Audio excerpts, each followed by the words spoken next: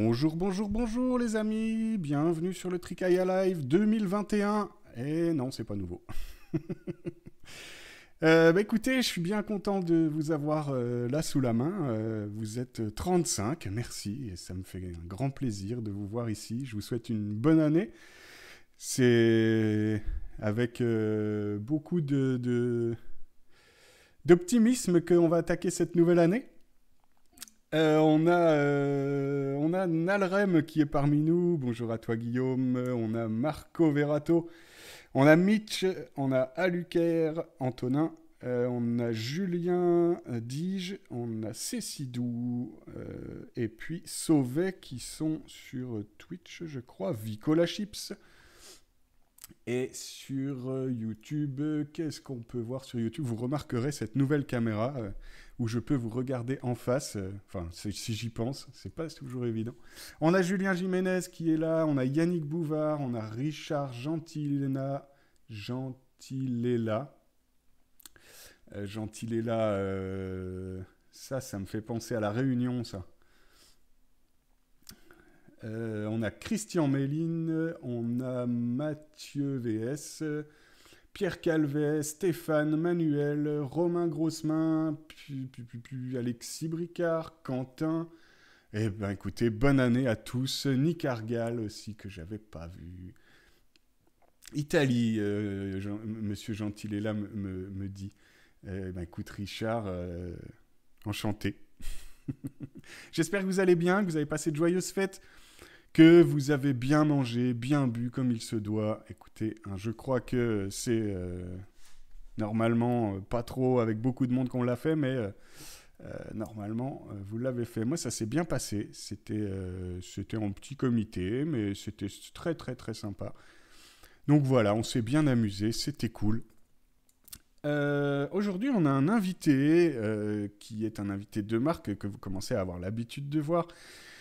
Euh, on n'est pas en mode surprise, hein, puisque euh, cette fois-ci c'était euh, prévu depuis, depuis très longtemps. je vous ai fait un petit live, on vous a fait un petit live surprise juste avant les fêtes. Mais là, on va parler d'un sujet qui m'intéresse beaucoup depuis très longtemps et sur lequel on, bosse avec Sylvain. en tout cas, on est en train de, préparer les, les plans et donc euh, l'idée, ce serait d'aller vers une catégorisation SEO automatisée. Tu as vu Sylvain, j'ai changé euh, le titre. j'ai mis vers une catégorisation SEO automatisée, point d'interrogation, hein, puisque tu, tu, trouvais que c'était trop, euh, trop bullshit. C'est ça. Euh, bah, qu'est-ce qui s'est passé au niveau des news euh, ben, Pas grand-chose. Euh, alors, je, vous ai parlé du petit stream surprise. je vous invite à aller voir quand même vite fait, bien fait, le dernier live non surprise avec Benoît Chevillot.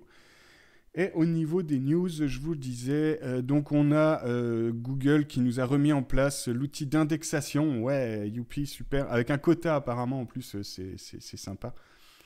Euh, bon, bah, ça va, ça va euh, certainement en aider euh, quelques-uns. Espérons. Espérons. je me suis retrouvé face à un, je pense, un test de Google que j'ai trouvé fort sympathique. Je bosse pour la coopérative vinicole d'Arbois et j'ai tapé euh, quelques noms de vins et tout d'un coup, euh, Google s'est mis à me proposer ça, associé à Château Chalon et l'étoile. Donc j'ai tapé Château Chalon et j'ai tapé l'étoile juste après. Et il est venu faire de la prédiction sur ce que j'aurais envie de voir après. J'ai trouvé ça très intéressant. C'était la première fois que je voyais ce carrousel-là. bon, hormis Meursault, je trouve qu'il est plutôt dans le vrai. D'autant plus qu'il m'a sorti Arbois, il m'a sorti Côte du Jura. Euh, qui sont quand même euh, très très euh, proches de Château Chalon et l'Étoile, quoi, en termes d'intention. On est vraiment dans les vins du Jura. Il a bien compris que je cherchais à me renseigner sur les endroits où on vend du vin. Et il est même allé jusqu'à me proposer carrément Côte du Jura, qui est une AOP, donc une appellation et, là, on n'est plus dans la notion de ville, on n'est plus dans l'entité de ville. Donc il a bien fait la relation entre l'entité ville, l'entité pinard, etc. J'ai trouvé ça très intéressant. Euh, je ne sais pas si j'arriverai à le reproduire. Euh, tu, tu, tu l'as vu, toi, ce, ce carrousel, Sylvain? Non, jamais. Ça me, en tout cas, ça me dit rien du tout. C'est intéressant, c'est un peu comme les systèmes de recommandation d'Amazon sur par rapport aux produits qu'on voit. Et, ouais. je pense que c'est fait un peu de la même manière. Ouais. Et, vous, euh, dans, dans, le chat, euh, vous avez eu ce carrousel là Est-ce qu'il y en a qui l'ont eu? Un cadeau pour Noël de la part de Google Je suis pas sûr, Pierre. Alors, à mon avis, c'est l'exploitation euh, qui, qui, font depuis bien longtemps. C'est. On m'entend pas. On m'entend pas. dans le chat, il y a quelqu'un qui dit qu'on ne m'entend pas. Ah, si, on t'entend. Euh, si tu veux monter le son de Sylvain, je pense que ça serait top. Il est à fond. Euh, ouais, ouais, t'es à fond. Donc, euh, bah, il, va se, il, se rapprochera, il se rapprochera de son micro. Euh... mieux? Voilà, là, je pense qu'il t'entend mieux. Là, tu tapes dans le jaune, normalement. Ouais, ouais vas-y, teste encore. Bah, je veux bien tester, arrête de me faire parler. ouais, ouais. Bon, allez, on va dire que ce sera bien. Tu, tu rapprocheras quand même ton micro, c'est vrai. Bah, que... Je peux pas me rapprocher plus. Hein. Je vais voir si c'est. Non, on l'entend quasi pas. Ils me disent. Ah, alors ça, c'est très embêtant. C'est bizarre pourtant. J'ai tout ce qui. Toi, tu m'entends bien? Ouais, moi je t'entends bien. Et puis, euh, ben, c'est vrai que tu tapes pas dans le jaune euh, au niveau de, de euh, du, du, du, curseur, mais ah, sur OBS, les amis, je, je, je regarde. attention, hein, je vais vous faire rentrer dans la matrice. Vas-y, parle. Ah là, et en fait, moi j'ai mis à fond hein, le micro de mon côté. Ouais, c'est vrai que t'es, es, es, assez bas, mais. Euh, alors attends, je vais peut-être euh, voir un petit truc. Euh, toc, toc, toc, on va faire quelques tests en live. Euh... test micro, test micro. Non, pas ça. Ouais, ben non. hop, attention. ouais, non, là, je suis même à fond dans Zoom et tout. Hein. Moi, c'est bizarre ça.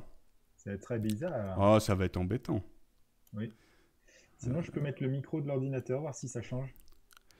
Ouais, tu peux essayer, ouais. Alors. Euh, ah, on me dit que là c'est mieux. Il y a Mitch qui nous dit que là c'est mieux. Et là, c'est beaucoup mieux ou pas? Non. Donc, ok. Quand un problème logiciel, ça. Ouais, mais c'est pas grave, tu parleras plus fort. Oh, ouais, je... Ah bah là, je t'entends plus du tout, par contre. Ah, comment ça, tu m'entends plus? C'est bon, c'est bon, je t'entends, là, ça y est. Ah bon, on va y arriver, les amis. Hein. Oui, euh, bien Donc voilà, ce, ce, ce, petit truc, faudra hurler, Sylvain, et euh, Vicola Chips te dit. Oui, bien sûr, oui.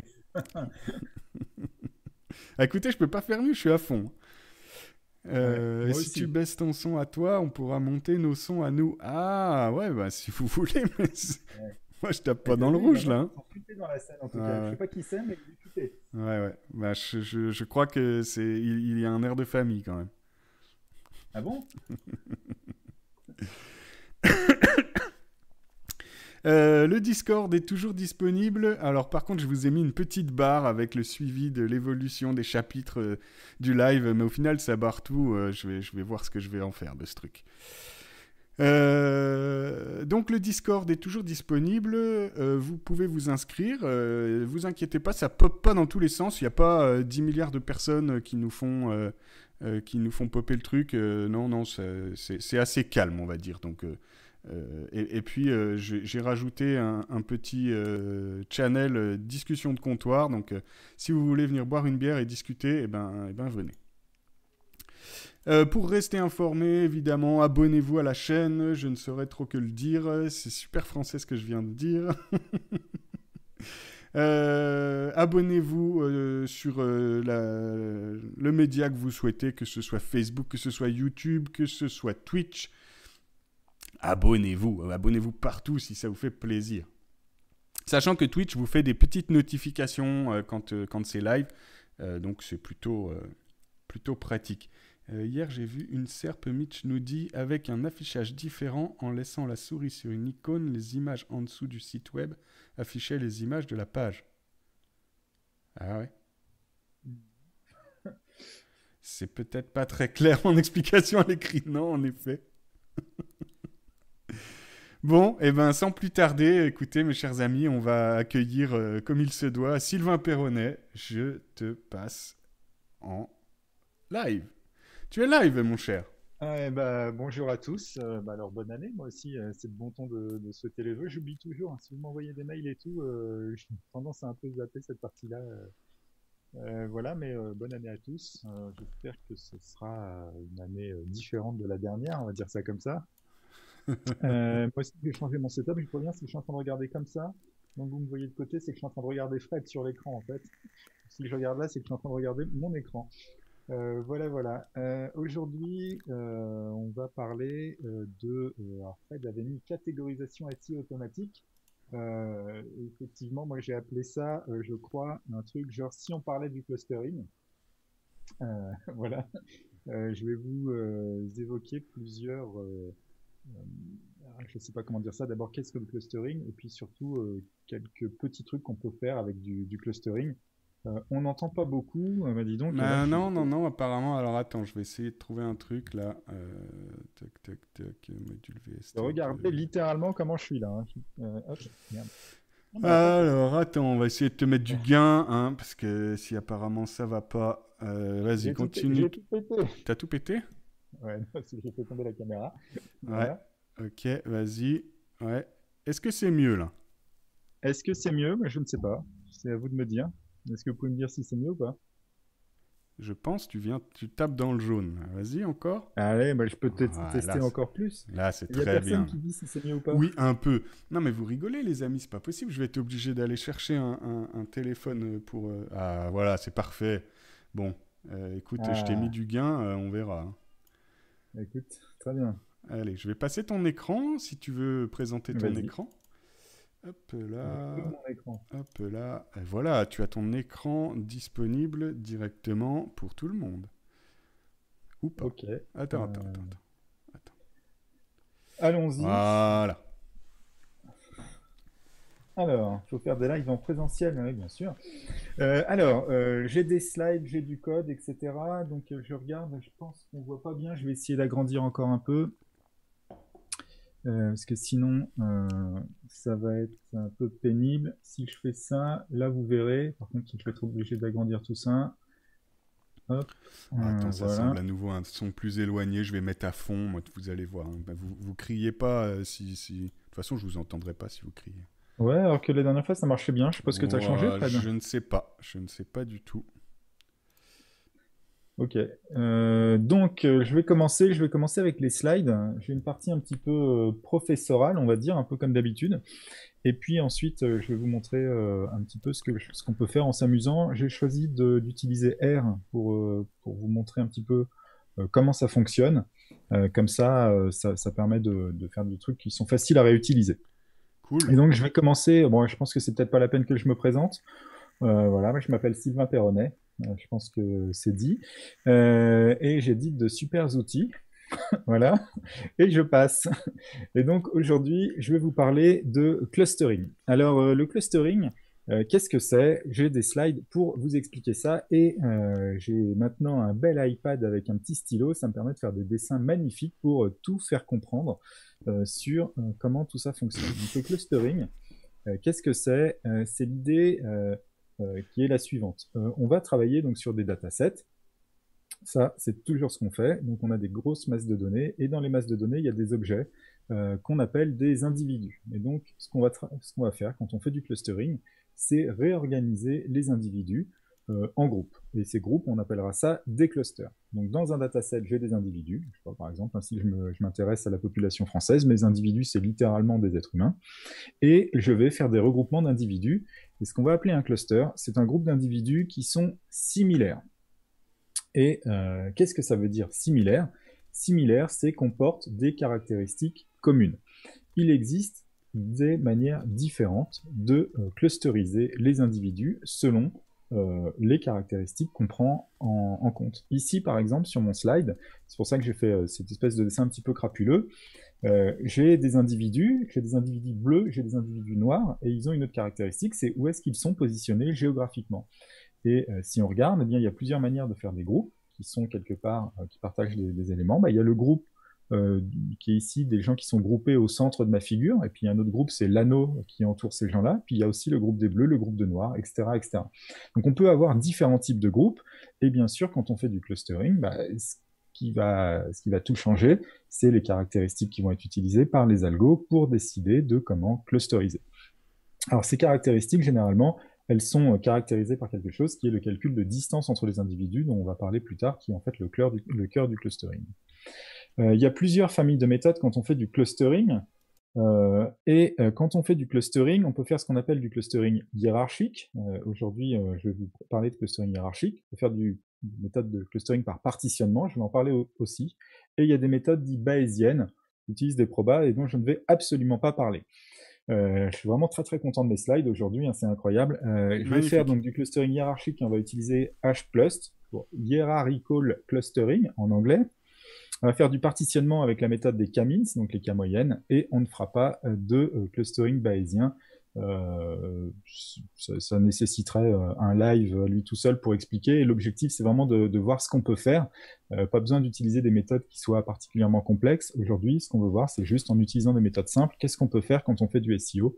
ce qui serait déjà, la, mission sera remplie si on arrive si j'arrive à vous convaincre qu'on peut faire des choses intéressantes avec des méthodes simples pour le SEO. Euh, Fred, je pense que sur ce genre de sujet, s'il y a des questions, il faut me les poser tout de suite, hein, parce que... Euh, ouais, ouais, ça marche. Ok. Alors, euh, je vais commencer par décrire très rapidement les algos avant qu'on s'en serve. Et donc, le premier algo dont je vais vous parler, c'est l'algorithme des K-means, donc des K moyennes.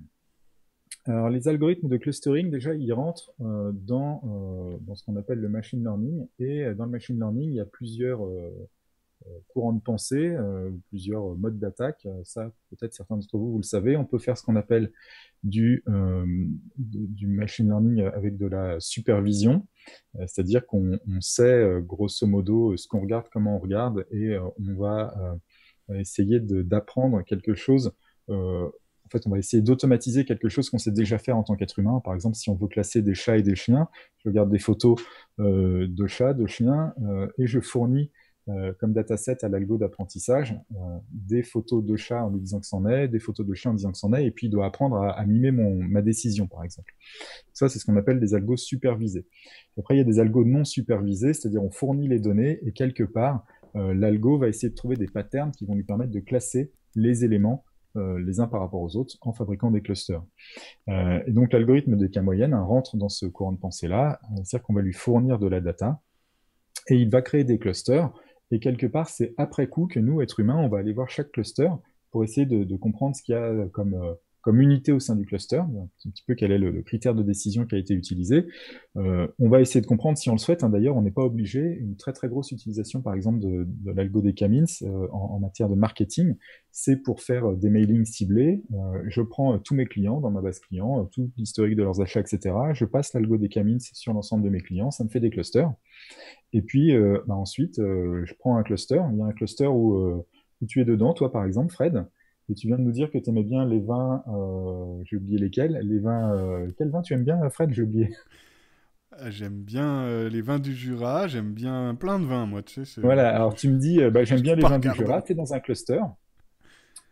Je vais prendre ton jugement et l'attribuer à tous ceux du cluster. Et donc, je vais envoyer un mailing à tous ceux qui sont dans le même cluster que toi en proposant des vins du Jura parce que toi tu as aimé. Donc je fais une recommandation par rapport à une personne que je connais, qui est toi, et j'ai groupé les personnes qui étaient comme toi euh, grâce à un algo de clustering.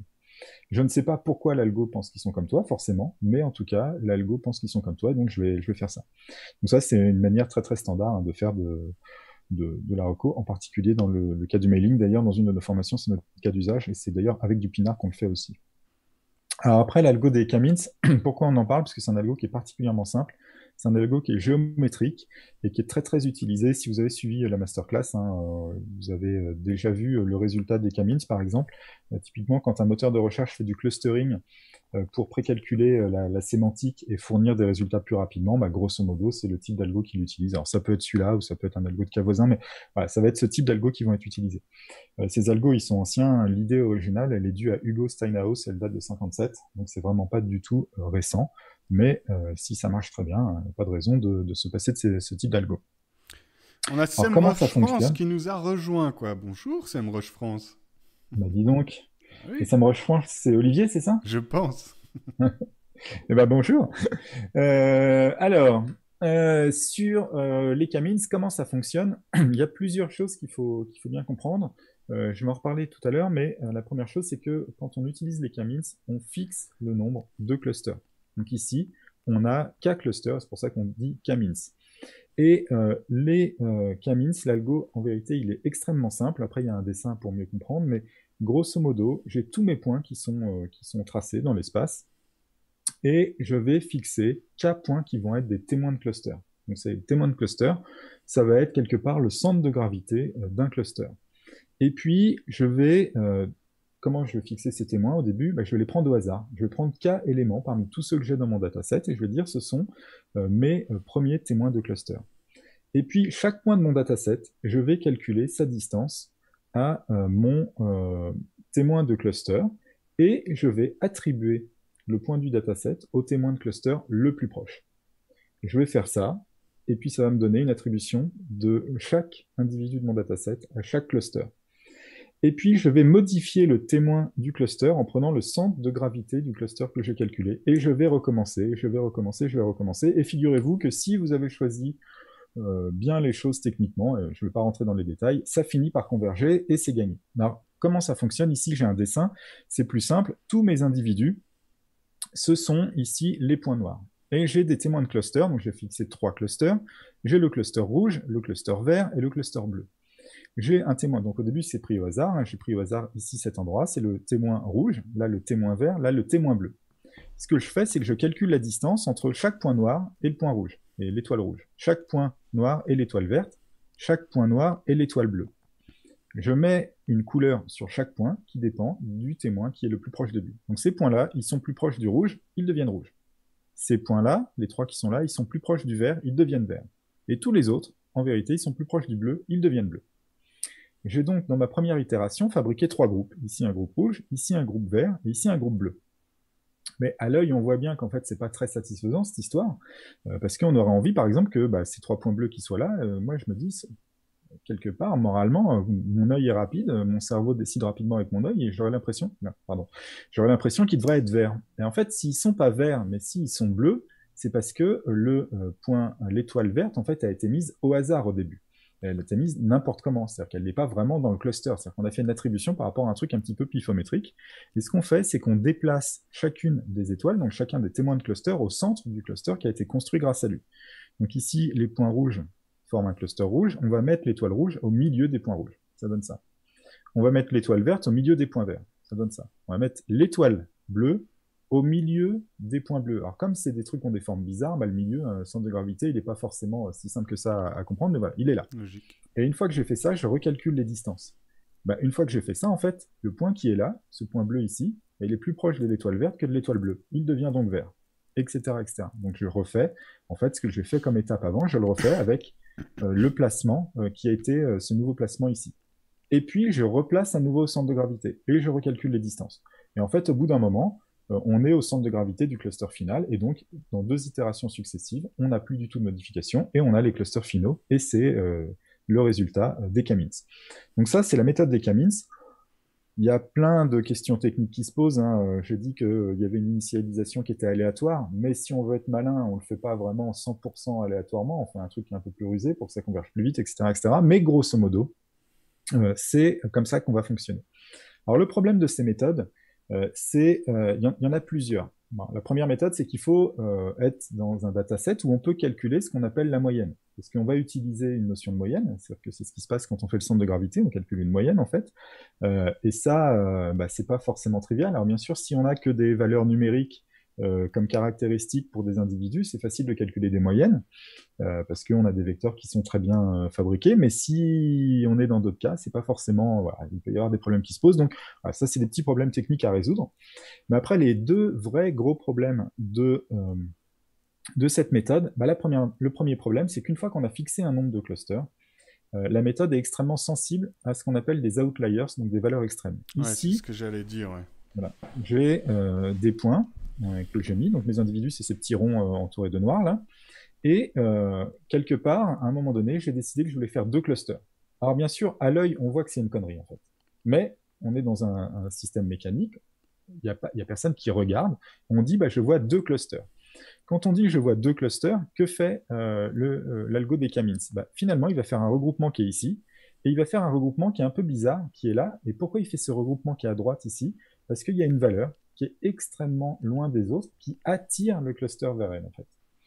Et donc, grosso modo, on a deux clusters euh, qui sont assez bizarrement gaulés parce que, euh, bah parce que finalement, ici, ce cluster qui est à droite, euh, il a un problème, c'est que si je demande quel est le représentant typique de ce cluster, bah, est-ce que c'est les quatre qui sont là? Est-ce que c'est lui qui est là?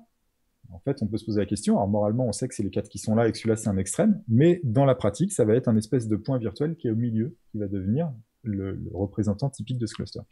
Donc là, on a une vraie problématique. Et d'ailleurs, si vous avez suivi euh, la masterclass, c'est un truc qu'on évoque parce que c'est un vrai problème.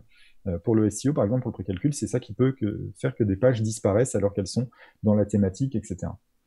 Ah, on en parlait aussi avec Xavier d'ailleurs hein, par rapport à l'interprétation euh, d'analyse statistique où justement euh, il y a un travail de nettoyage qui doit être fait pour virer les outliers, euh, bah, les intrus statistiques en fait. Hein, euh. exactement. Il y a plein de méthodes hein, d'ailleurs là-dessus hein, qui, sont là pour ça. souvent, il ne faut pas trop se poser de questions. la meilleure méthode, par définition, l'outlier, s'il est très peu fréquent, virer euh, les X% les plus grands, les plus petits, euh, ça, marche aussi souvent très très bien et ça mm. suffit euh, la plupart du temps pour prendre des décisions raisonnablement correctes. Bon, mais sans rentrer là-dedans, en tout cas, on voit que là, il y a un problème. Bien sûr, si j'avais décidé de faire trois clusters, là, par contre, eh ben, c'est complètement différent. Et on s'aperçoit qu'on peut faire des clusters qui ont plus de sens parce que c'est des éléments qui sont vraiment proches entre eux au sein du cluster et qui sont vraiment éloignés des autres clusters qui apparaissent. Donc, tu décides du nombre de clusters en fait. C'est pas c'est pas l'algo qui va décider du nombre de clusters. Alors il y a des algos pour décider d'un nombre euh, qui paraît le meilleur pour le nombre de clusters. Il y a une méthode qui s'appelle la méthode silhouette ou la méthode de la silhouette. Je sais pas comment on dit en français. Euh, grosso modo, ça permet de, voir le, nombre optimal de clusters qu'on va faire, mais tous ces algos, en fait, ils fonctionnent de la, même manière, grosso modo. C'est, ils calculent euh, une quantité qui dépend, enfin, c'est comme s'ils calculaient tous les clusters, enfin, toutes les tailles de, enfin, tous les nombres de clusters possibles, euh, raisonnables par rapport à un dataset. Et puis après, il y a un calcul d'une valeur statistique qui est faite pour estimer quelle est la valeur qui est la meilleure, parce que justement, elle évite de créer ce genre de choses. il faut savoir que c'est relié à un autre problème qui est celui de, trouver ce qu'on appelle des clusters qui sont euh, qui sont, euh, je sais pas comment on le dit en français, mais en anglais, euh, dans, un terme franco-anglais, on dirait la roundification des clusters. C'est trouver des clusters qui ressemblent plus à des boules. C'est un problème très très difficile de, de, l'informatique théorique. Ici, on voit que ce cluster, il est problématique parce qu'il a une forme un peu allongée comme ça de haricot, mhm. alors que ceux-là, ils sont bien, ils ont des belles formes de boules. Et en vérité, il y a des algos qui permettent de, de déterminer qu'on est plutôt dans ce contexte-là que dans celui-là. on rentre dans des questions extrêmement difficiles.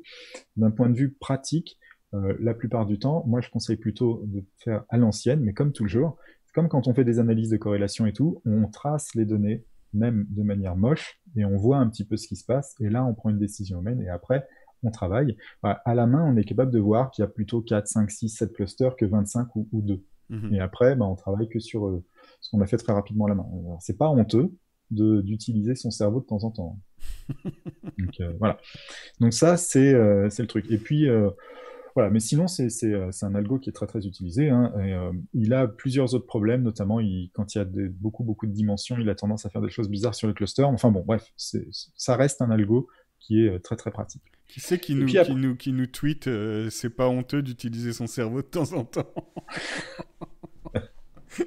Ah, je l'aime beaucoup celle-là. Très bien. Euh, Ensuite, euh, on va utiliser un, deuxième type d'algo qui est l'algo de clustering hiérarchique agglomératif. Alors là, c'est hyper facile à comprendre. Alors je suis désolé, mon dessin est un petit peu confus. Euh, quand c'est une lettre entourée euh, en noir ici, en fait c'est un, un, individu que j'appelle l'individu A, le B, le C, le D, le E, le F, le G, le H. Et ces individus, je vais les clusteriser et je vais fonctionner de manière agglomérative. Ce que je vais regarder, c'est la distance entre A et B, A et C, A et D, etc. Et je vais créer un premier cluster de deux individus, si c'est possible, qui contient A plus l'individu qui est le plus proche de A. Bah, ici, si je regarde, c'est B l'individu le plus proche de A. Donc A et B vont aller ensemble, et je vais créer ici une représentation qu'on appelle un dendrogramme, je dis A et B vont ensemble, et donc ici, ça indique qu'ils sont ensemble dans un sous-cluster de taille 2. C et D sont très proches, ils sont ensemble dans un sous-cluster de taille 2. E et F, ici, sont très proches, ils sont ensemble dans un cluster de taille 2. G, euh, il est euh, loin de tout le monde, il y a un certain seuil qui est dépassé, donc je l'ai mis tout seul, et H, je l'ai mis tout seul. Et puis ensuite, eh ben, ces clusters que j'ai construits, qui sont les clusters rouges, je vais créer leur centre de gravité, c'est le point euh, qui est ici, en, bleu, et je vais les regrouper, euh, ces clusters rouges, en regardant les distances entre les points bleus. Le cluster AB, son point bleu est ici, le cluster EF, son point bleu est ici, le cluster CD, son point bleu est ici. Donc je regarde la distance entre ce point et ce point, ce point et ce point, etc. etc. Je m'aperçois que AB, il est surtout proche du euh, point bleu qui est ici pour le nœud G. Donc A, B et G vont aller ensemble pour former un cluster plus grand. Qu'est-ce qui se passe? Il est proche du point G, quoi. C'est exactement ça, euh, c'est pas mal. Euh, et donc ils vont ensemble dans un cluster bleu. Euh, ici, c'est E et F, eh bien ils sont proches de H, ils vont ensemble dans un cluster qui est bleu. Et puis, j'ai quoi d'autre? Bah, C et D, ils sont tout seuls maintenant. puis de toute façon, il n'y a plus d'autres clusters avec qui les grouper à ce niveau-là, au niveau bleu. Donc, ils, passent directement au tour d'après, finalement. Et puis ensuite, bah, je recommence. Le cluster ABG, il est euh, proche de quel cluster? Bah, Plutôt du cluster EFH. Et donc, je vais les regrouper ensemble au niveau euh, supérieur, ici. Et puis CD va être regroupé euh, ensuite, et après, bah, j'ai tout le monde dans le même cluster.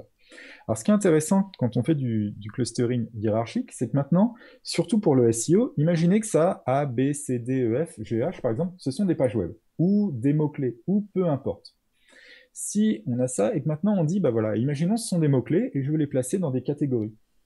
Imaginons que j'ai deux catégories. Si j'ai deux catégories, ce que je fais, c'est que je prends mon dendrogramme, je le coupe ici au niveau où il y a deux branches qui sont comme ça, et je regarde ce qu'il y a dans chaque branche, et ça me donne toutes les mots-clés qui vont aller dans chaque catégorie. Si j'ai trois catégories, je regarde au niveau d'en dessous. Si j'ai euh, cinq catégories, je regarde à ce niveau-là, etc. Donc en fait, après coup, je peux savoir selon finalement euh, ma capacité technique euh, ou le nombre de catégories que je me suis fixé ou n'importe quel critère, je peux voir des clusters de taille euh, différentes, ce qui me permet de, faire des choses assez fines. Ça me permet aussi de créer des arborescences hein, qui ont un sens d'un point de vue sémantique, avec une sémantique par exemple qui est de plus en plus fine au fur et à mesure que je descends dans l'arborescence. Donc les méthodes de clustering hiérarchique, en fait, d'une certaine manière, elles sont beaucoup plus pratiques pour nous dans une pratique du SEO. La question qu'on va voir ensuite, c'est est-ce qu'elles donnent les mêmes résultats ou pas hein. Euh, ça, c'est le point intéressant. Mais, euh, sinon, c'est quand même beaucoup plus simple, euh, je pense, à comprendre. Et puis, c'est aussi beaucoup plus simple d'un point de vue purement technique. voilà. Qu'il y a des questions là-dessus non, non, il n'y a pas de questions. Non, non, il y a juste Christian qui dit chez Google, c'est le cerveau de qui qui est utilisé? Point d'interrogation. et, Yannick qui fait remarquer que tu n'es encore pas vraiment au point avec la tablette et le stylet. Voilà. Parce qu'il trouve que j'écris mal, hein, mais en fait, ça, c'est j'écris mal, même en vrai. Non, mais c'est, tu sais, l'art, euh, c'est, comme ça, c'est très subjectif. Hein. Il n'apprécie eh pas ton art, écoute. écoute. Alors, dans tous les cas, en tout cas, ce qui est assez intéressant, c'est qu'on voit une chose, c'est que le dataset, ok, c'est ce qui nous est important pour nous, mais il faut que ce dataset permette de calculer des matrices de distance entre les individus du dataset. Parce que finalement, tout ce qu'on fait, c'est transformer des individus en points qui sont placés dans l'espace et on utilise la distance entre ces points pour faire le clustering. Donc c'est vraiment ça qui est le point clé et donc dans tous les cas, techniquement, ce qui compte, c'est comment est-ce qu'on passe de ici ce truc avec des points qui se battent en duel dans l'espace à ici une belle matrice qui indique la distance entre chacun des points. Donc entre A et A, la distance c'est 0, mais par exemple ici entre A et B qui sont raisonnablement proches, la distance c'est 0,5, entre A et C c'est plus loin, c'est 1,5, etc., etc. Donc il va falloir une distance entre les individus. Alors pour ceux qui connaissent bien euh, comment fonctionnent les moteurs, bah, on rentre dans un truc qui est un grand classique, c'est au début j'ai un texte, un mot, c'est deux mots, c'est dix mots, c'est 250 mots, mais peu importe. Au début j'ai un texte, je dois le transformer d'abord en un vecteur, puis ensuite je dois calculer la distance entre les vecteurs. Alors, euh, pour, euh, pour ceux qui connaissent bien comment fonctionnent les moteurs de recherche, hein, c'est un, un, truc qui est hyper balisé. Euh, le texte, ça peut être, on calcule des vecteurs qui vont dépendre par exemple des shingles du texte. Dans ce cas-là, la distance, ça va être la distance de jacquard, et normalement c'est plutôt un cas d'usage duplication. Comme ça, on peut faire des clusterings de pages qui, ont les, qui sont dupliquées entre elles par rapport à des pages qui ne sont pas dupliquées entre elles. peut avoir des groupes de pages qui se dupliquent entre elles globalement, au lieu de les regarder une par une. mais si après on utilise la TF-IDF, après, il paraît qu'il ne faut pas utiliser la TF-IDF, tout le monde me dit que ça ne s'utilise plus, mais si on utilise des fonctions fréquentielles euh, sémantiques euh, ou des vecteurs BERT ou peu importe, ben, on va avoir des clusterings qui vont être liés à la sémantique, à l'intention, etc., etc. Si on utilise euh, comme vecteur le vecteur des positions dans le moteur de recherche, on va avoir des clusterings qui vont être les pages qui sont positionnées ensemble pour les mêmes types de mots-clés, etc., etc. Donc, selon le vecteur qu'on va fabriquer et le type de distance qu'on va utiliser, on va regarder des comportements différents et pour le SEO, ça va être des cas d'usage différents. Mais dans tous les cas, on aura toujours du clustering qui sera impliqué. Donc le clustering, c'est une méthode générique. Euh, ça résout pas un problème, ça résout beaucoup beaucoup de problèmes différents, mais ce qui décide du problème qu'on est en train de résoudre, c'est la data qu'on donne à l'algo en entrée. C'est clair? Et les seuils qu'on lui fixe, je pense aussi.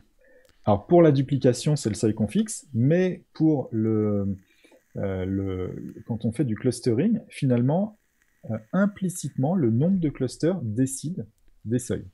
Ouais, ouais, aussi. Et ce seuil n'est pas le même cluster par cluster. Alors c'est assez intéressant parce que si on regarde là par exemple euh, dans un cas, est-ce que j'ai un cas où ça se voit vraiment bien? Non, parce que j'ai pris des exemples qui sont balancés en termes de taille. mais ici, quand on fait trois clusters, bah, on voit que les trois clusters n'ont pas du tout le même nombre d'éléments et donc et, que le diamètre des clusters n'est pas le même. Ce qui voudrait dire qu'il y a des seuils qui ne sont pas les mêmes. Si on était sur de la duplication, par exemple, eh bien ici, le diamètre est légèrement plus grand que là. Ici, on a moins de pages, mais qui sont beaucoup plus dupliquées les unes par rapport aux autres que ici. Si on regardait le taux de duplication pour le, pour faire le clustering. Donc le, seuil, en fait, la notion de seuil disparaît un petit peu pour essayer de voir une anomalie euh, macro euh, parce que finalement, ce qui compte, c'est pas le cluster où il y a une page, hein, ce qui compte, c'est le cluster où il y a 4000 ou 5000 pages, et donc ça va permettre de voir des phénomènes de grande échelle plutôt. Euh, donc voilà pour ça. Euh, une fois qu'on en est là, qu'est-ce qu'on va faire? Eh bien, on va utiliser, nous, de la data pour faire les choses. donc, je vais, j'ai encore quelques slides, et puis après, on va regarder plutôt avec le code. Comme data, on va pouvoir utiliser plusieurs sources de données. Donc, à titre illustratif, euh, euh, je vais avoir un, traitement de données dans la suite de cet exposé qui est le suivant. Je vais toujours trouver des mots-clés ou des expressions ou des URL. Donc, selon le cas d'usage que je me fixe, peut être je m'intéresse à catégoriser des mots-clés, je m'intéresse à catégoriser, je sais pas, les encres des liens qui pointent vers mon site web, je m'intéresse à catégoriser les sites web qui pointent vers moi, etc. Donc là, j'ai un, premier point d'entrée dans ma data, c'est euh, finalement ma data d'origine. Et cette data, il va falloir que j'en crée, euh, que je crée des cartes de distance euh, à partir de cette data. Et bien sûr, quand j'ai des mots-clés, bah, définir la distance entre les mots-clés, c'est pas facile. Hein. il y a des gens qui disent que ce qu'ils vont faire, c'est simplement regarder si les mots-clés se ressemblent ou si c'est des requêtes, est-ce qu'elles contiennent les mots-clés, etc. Le problème, c'est que si on fait ça, on a une notion de distance qui n'a pas du tout de granularité. le mot toto et le mot, enfin, le mot barbecue et le mot charbon, par exemple, vont être euh, n'ont rien en commun. Et si on regarde juste la, syntaxe euh, au niveau des mots-clés, bah, ces mots n'ont rien à voir. Donc il n'y a aucune raison qu'ils se retrouvent dans des clusters qui soient les mêmes, alors qu'en fait, on sait, nous, en tant qu'être humain, qu'il y a un partage de sémantique entre ces deux mots, par exemple. Donc ce qu'il va falloir, c'est processer la data d'entrée, donc par exemple, on va se fixer sur des mots-clés, pour créer euh, une représentation plus riche. Et pour créer cette représentation plus riche, ça tombe bien, peut-être tu ne le sais pas, Fred, mais on a des outils qui permettent de le faire. Ah bon? Eh oui. Euh, on a plusieurs outils euh, qui sont tous basés sur le même noyau. Donc, on va utiliser le noyau d'Urtex Guru, que ce soit via euh, une surcouche qui est Keyword GG, donc qui utilise en partie de la data Urtex Guru, ou que ce soit Urtex Guru directement. Et donc, selon ce qu'on va utiliser comme data, on va voir que à entrée égale dans le, pipeline de traitement, on va avoir des résultats très très différents. Ah, en fait, ce que tu es en train de nous expliquer, c'est que tu te rattaches à un référentiel. Exactement. Tu sors pas de tout ça, de tout contexte. Tu essaies justement de rattacher ça à un contexte plus global et plus et plus plus large, quoi plus large, tout à fait. C'est exactement ça pour capter le maximum de sémantique finalement euh, dans les choses, parce que sinon, les, mots peuvent être un peu, euh, c'est un peu court les requêtes qu'on va utiliser. Euh, là, par exemple, puis quand c'est des URL, c'est encore pire. Une URL, ça n'est rien du tout qu'un artefact technique. Et donc voilà, c'est comment est-ce qu'on va faire pour pour accrocher une sémantique à tous ces objets. C'est ce que j'explique souvent à mes clients par rapport à quand quand, quand je construis un cocon, en fait. Euh, j'avais le cas d'un site qui vendait euh, du matos pour, euh, pour la montagne. Et puis, euh, ils avaient un méga menu avec euh, une entrée de menu qui s'appelait fond et une entrée de menu qui s'appelait alpin. Sauf que, sorti de tout contexte, fond, ben, ça veut rien dire, et alpin, ça peut vouloir dire beaucoup de choses. Et si tu obliges le moteur de recherche à passer par une catégorie ski avant de découvrir fond et alpin, tu lui as donné un contexte. Tout à fait. Donc, ben, c'est cette notion-là, en fait, euh, euh, d'attacher finalement à un contexte euh, plus, plus global. Quoi. Hmm. C'est ça, c'est exactement ça. et donc, dans ce que je vais utiliser là, bah, par exemple, là, exemple très simple, un keyword GG, voilà, je tape café expresso ou capsule café, et ça me donne alors, des contextes qui peuvent être des mots communs ou des contextes qui sont des entités. Euh, moi, dans les exemples aujourd'hui, j'ai choisi d'utiliser les entités quand on utilisait keyword GG. Alors pourquoi? Parce que quand les entités sont vraiment attachées contextuellement, bah, elles fournissent un petit peu plus de richesse sémantique.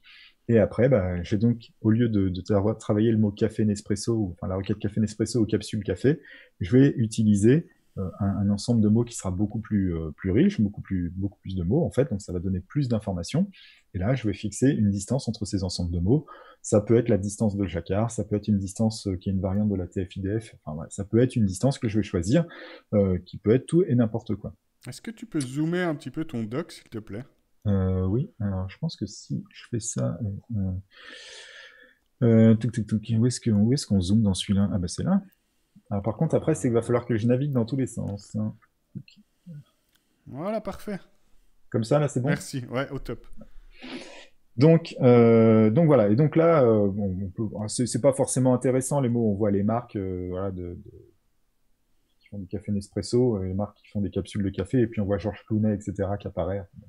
Sans surprise. Hein. voilà. Alors ça, c'est le, premier cas qu'on va regarder. Ah, par contre, il faut que je le fasse comme ça, maintenant pour passer. Alors, attendez, je vais y arriver, hein, parce que je suis tout troublé maintenant, je sais plus ce que je dois montrer. Euh, je dois montrer ça, voilà. Ensuite, on peut utiliser d'autres data, on peut utiliser les guides euh, euh, Guru directement. Alors bien sûr, euh, Text Guru, c'est notre outil. Euh, et puis Fred, on est chez toi en plus. Donc là, c'est vraiment, y a la, moitié de l'équipe qui est là.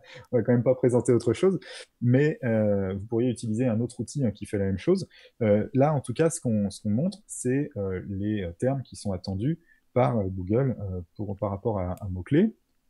Donc c'est pas du tout la même chose qu'un contexte, c'est une donnée qui est beaucoup plus attachée à la vision du moteur. Donc quelque part pour le SEO, on peut penser que ça donnera peut-être plus les résultats qu'on s'attend à voir.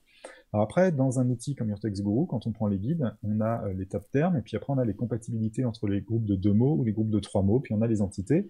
Là aussi, ce qu'on va choisir d'utiliser comme, euh, je veux dire, comme représentation de mon mot-clé, de ma requête, ça va avoir un impact. Si je n'utilise que les top termes, je suis ultra focus sur le vocabulaire vraiment attendu. Si je prends les groupes de deux mots, bah, j'ai des mots qui sont des top termes, plus les mots qui vont avec. Donc je suis en train de diluer un petit peu ma sémantique. Euh, je vais peut-être avoir quelque chose qui est un petit peu différent euh, de ce que je m'attends à voir, mais qui correspond donc moins au moteur, plus à l'humain. Enfin voilà, selon euh, la granularité qu'on va se fixer, on va avoir des résultats différents. Et il y a un truc sur lequel je vais insister, il n'y a aucun moyen de savoir à l'avance ce qui est le mieux. Ce qu'il faut, c'est au début, quand on commence à se fabriquer un cas d'usage, qu'on se fabrique son process, bah, il faut tout tester. Et puis à un moment donné, on va se rendre compte qu'on a en moyenne de, meilleurs résultats, ce qu'on attend. Et puis le positionnement qui est derrière est meilleur, par exemple. Et donc on va euh, se fixer une, manière de travailler. Mais j'ai pas de, préconisation absolue sur ce qu'il faut utiliser comme data, puisque ça dépend de ce que vous avez envie de faire. C'est le fameux ça dépend du SEO. Si vous ne me dites pas exactement ce que vous voulez faire, je suis incapable de vous dire exactement comment le faire. Il n'y a pas de surprise. Et donc ça, euh, c'est le truc. Et puis, euh, ce qui est assez intéressant, c'est que dans Your Text on a euh, ce système qui fabrique les cocons directement. Alors les gens, je ne sais pas, selon les cas, ce qu'ils utilisent exactement sur la, dans, l'outil, mais on a la représentation graphique qui est pratique parce qu'elle permet de faire les choses un petit peu à la main. Mais quand on veut vraiment automatiser, généralement on utilise ce tableau de compatibilité sémantique hein, que, Guillaume a eu la bonne idée de, mettre en place dans l'outil. Et en fait, bah, l'avantage de cette, euh, ce tableau de compatibilité sémantique, c'est que c'est littéralement une matrice de distance. C'est une matrice de distance qui utilise toute l'information des guides. Et donc, euh, quelque part, euh, c'est déjà l'entrée exacte qu'il faut à un algo de clustering. Donc ça facilite les choses d'un point de vue technique, puisqu'il y a peu de processing à faire derrière pour utiliser cette info. Par contre, bien sûr, ce tableau, c'est déjà un tableau dans lequel il y a un choix qui a été fait éditorial d'une certaine manière, de choisir que les tab termes, les groupes de deux mots, de trois mots et les entités, eh bien, tout doit contribuer à la compatibilité. Ce qu'on peut décider de ne pas faire euh, quand on, travaille directement à partir des guides. L'idée, c'est tout ça. Alors maintenant, euh, qu'est-ce qu'on va faire de tout ça? Eh bien, on va regarder ce que ça donne euh, en vrai, l'utilisation de, de tout ça. Et on va y aller. Et le slide, j'ai deux slides après, puis après je vous montre sur RStudio. pour l'exemple, pour comprendre comment ça marche, ça, c'est une suggestion de Guillaume, mais c'est une très bonne idée. Au début, je n'avais un exemple qui n'était que sur la thématique du café. Et donc, je sortais du, des clusters, dans lequel, par exemple, le café euh, instantané n'était pas avec le café Brésil. Mais est-ce qu'on est capable, quand on n'est pas dans le café, de savoir si les clusters sont corrects ou pas, quand les deux euh, termes ne sont pas dans les mêmes clusters Moi, en tout cas, je ne suis pas capable. Et Guillaume a eu une très bonne idée, il m'a dit, fais donc des groupes de mots-clés qui n'ont aucun rapport entre eux, comme ça, on verra tout de suite si les clusters que tu obtiens sont corrects ou pas. J'ai donc ici des mots-clés qui sont euh, binette, râteau, brouette, tronçonneuse, sécateur, tondeuse, motoculteur, et d'autres qui sont à propos du café. J'ai une thématique qui est plutôt euh, bucolique, on va jardiner, et puis il y a une thématique qui est plutôt on va boire des cafés. Et donc l'idée, c'est on va voir déjà est-ce qu'on va retrouver ce qu'on s'attend à retrouver, c'est-à-dire deux clusters, le cluster du jardin et le cluster du café. Si je vous montre des méthodes et qu'elles ne retrouvent pas ça, c'est déjà qu'il y a un truc qu'il faut se poser des questions. Et on va donc voir ce que euh, ça va donner euh, quand on va faire ça. Et euh, pour ça, je vais utiliser donc trois sources de données. Je vais utiliser un fichier qui est l'utilisation des entités de keyword.gg, un fichier qui contient un cocon YourTextGuru complètement fait, et un fichier qui contient un groupe complet YourTextGuru. Et si ça vous convient, ben, on part là-dessus à partir de maintenant pas de commentaires, c'est donc que ça convient. Ça a l'air de convenir, mais de quoi qui convient? Eh ben ça comme exemple. oh là là, faut que je cache ma clé API. Euh, ouais. ouais. De toute façon, je la changerai après. Euh, ouais. tu y penseras, je t'y ferai penser sinon. Tout à fait. C'est les aléas de du live. Hein. Alors, euh, j'utilise RStudio euh, et euh, je vais utiliser RStudio. Et donc, comme je vous l'ai dit, je vais utiliser euh, deux sources de données. Bon, de toute façon, la clé API, vous allez l'avoir jusqu'au bout, puisque je vais lancer Keyword GG pour ceux qui ne connaissent pas. Hop, je me connecte. Hop, hop, hop, on voit plus la clé API. Donc, Keyword GG, ici, il y a le moteur de recherche. Par exemple, si je tape café, ça vous donne des mots communs et des entités qui sont dans un contexte, qui est un contexte qui est euh, alors pour ceux qui connaissent les méthodes genre BERT, FastText, etc., sont ce qu'on appelle des, extracteurs de contexte. Nous, on a une méthode qui est différente. On extrait euh, un contexte euh, qui sont des mots qui sont en relation avec la requête qui va être tapée.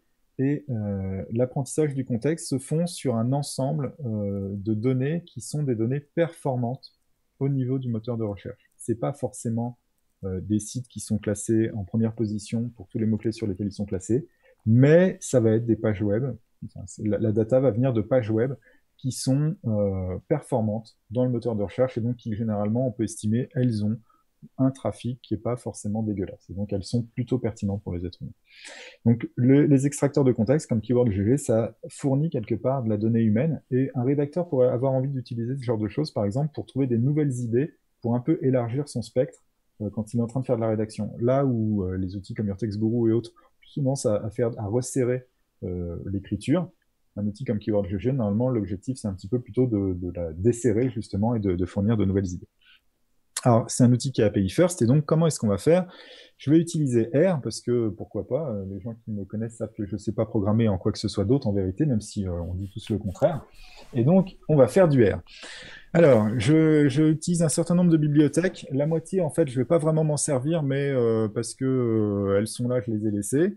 Et euh, première chose, j'ai une clé API euh, qu'il faut euh, valider. Je l'ai déjà validée. Je ne vais pas la revalider parce que sinon elle va vraiment apparaître totalement là. Là, vous ne voyez pas les 10 ou 15 derniers caractères en fait. Et puis ensuite, il me faut des fonctions pour aller taper sur l'API KeywordGG. J'ai une fonction qui s'appelle getContext ici. Qu'est-ce qu'elle fait? Elle prend en, entier, en, entrée une requête, elle prend en entrée un pays, puisque l'outil fait du français et de l'anglais, et elle va chercher les dix premiers mots du contexte. Et le contexte que j'utilise ici, c'est le contexte entité. Donc je le redis encore une fois, en fait le truc c'est que euh, il faut être tout à fait pragmatique quand on programme ce genre de choses. Euh, plus on a de mots dans un contexte, plus on comprend la sémantique du mot pour lequel on a pris, qu'on a contextualisé. Mais les entités portent beaucoup plus de contexte que les mots communs. En faisant une contextualisation avec des entités, je peux me contenter d'avoir 10 mots, là où il m'en faudrait 20 ou 30 si je prenais des mots communs. Or, faire des requêtes à une API, c'est pas gratuit. ça nous coûte rien parce que c'est à nous, mais c'est pas gratuit, ça prend du temps. Parce qu'il y a des règles limites, etc. Donc en fait, avec 10 mots entités, je vais avoir un meilleur résultat qu'avec 10 mots mots communs. Et donc j'utilise les entités parce que je suis pragmatique si je m'autorise de requêter 10 mots, eh ben, je veux la meilleure qualité de résultat possible, donc je prends les entités. Bon, c'est une fonction euh, qui fait, euh, c'est une API REST, hein, il y a zéro surprise. Euh, vous pourrez regarder le code tranquillement, de toute façon il est dispo sur le site ou sur le GitHub, je sais plus, c'est dispo. Et qu'est-ce que ça fait comme truc? Bah, Par exemple ici, si je prends le, contexte de choucroute, je lance le truc, ici on voit le résultat, Strasbourg, Alsace, choucroute, choucroute, choucroute, Colmar, Heilongjiang, euh, qui est euh, le bled en Chine où a été inventé le chou fermenté euh, au moment de la fabrication de la muraille de Chine. Claude Aubert, j'imagine que c'est un cuisinier qui fait de la choucroute, etc., etc. Donc on a des entités qui correspondent à la choucroute. Donc voilà comment on va utiliser cette fonction. Ensuite, eh bien, je vais utiliser un dataset de test. Je vais l'ouvrir, il est là. Hop, alors là, vous voyez pas beaucoup, mais je vais l'ouvrir en grand. Ce que je vais ouvrir, c'est celui-là. Moi, je suis sur Mac, j'utilise un soft qui s'appelle Numbers, et je vais zoomer à 200%. Est-ce que vous voyez bien là Non, je vais zoomer encore un peu plus. On voit bien. Vous voyez? Euh, donc ici, c'est mon dataset que je vous ai promis tout à l'heure, café americano, café au lait et noisette, etc., etc. Puis tondeuse, sécateur, tout ça. Donc je lis ce dataset et en R dans euh, data, dans R data, si je clique ici, en fait, ça va apparaître là. Je peux voir le dataset ici. Maintenant, ce que je vais faire, c'est euh, des euh, petites manipulations. Et là, déjà, honte sur moi. Si vous avez suivi un cours de R avec moi, je vous ai dit dix mille fois qu'on ne fait jamais de boucle en R. Retenez bien ça, puisque là, qu'est-ce que je vous montre? Une boucle. Euh, j'ai eu la flemme de l'écrire autrement. Ce que je vais faire, c'est que je vais parcourir mon dataset, ligne à ligne, et que je vais appeler le contexte pour chaque ligne en français. Et ici, parce que j'ai pas envie de m'emmerder à faire du vrai, euh, à faire un bon throttle qui tient bien, je mets un slip de 0,3 secondes pour m'assurer que euh, tout se passe bien. Et je lance ça.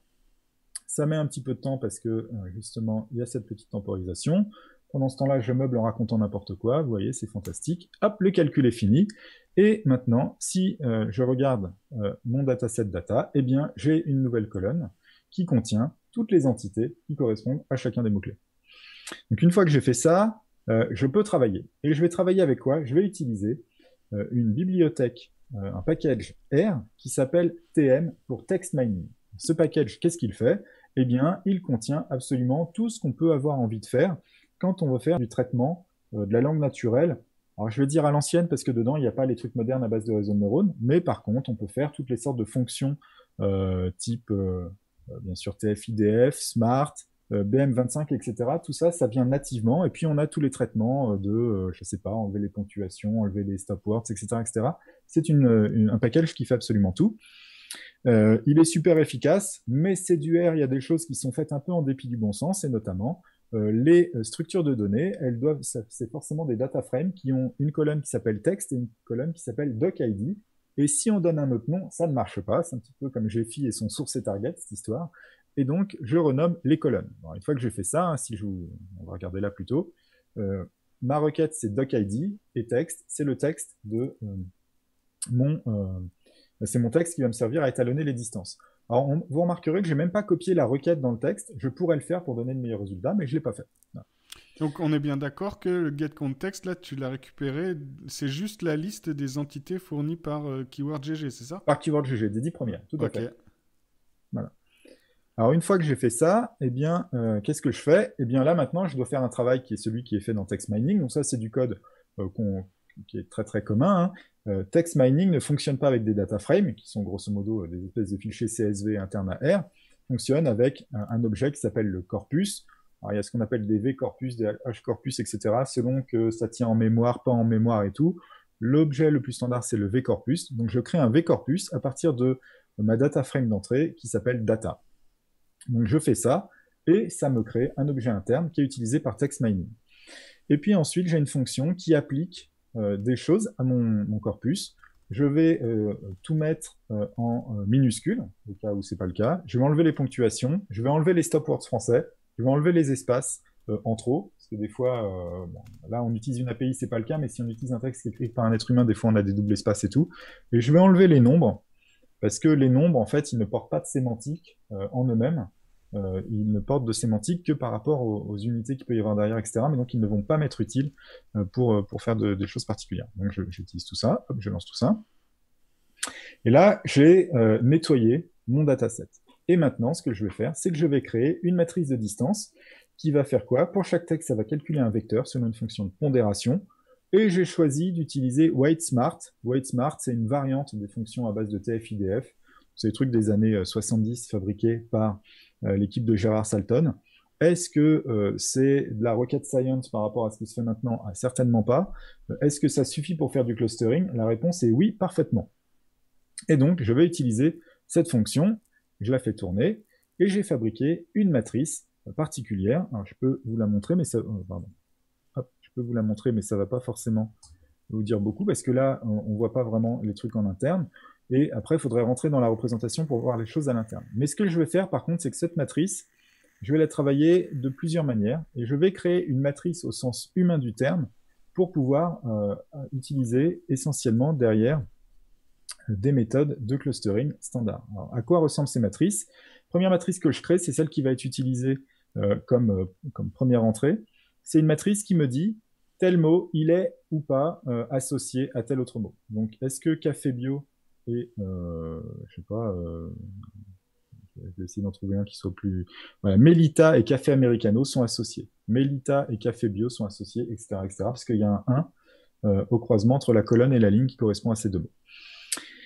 Ça, c'est la présence des mots dans euh, les documents, mais c'est pas ça qui m'intéresse. Ce qui va m'intéresser, moi, c'est la distance au sens euh, standard du terme pour pouvoir faire du clustering, comme tout à l'heure, en regardant la distance entre les points. Donc, je crée une matrice de distance pour ça, je calcule la distance entre tous les points de la matrice et je prends la distance euclidienne, hein, qui est la distance standard.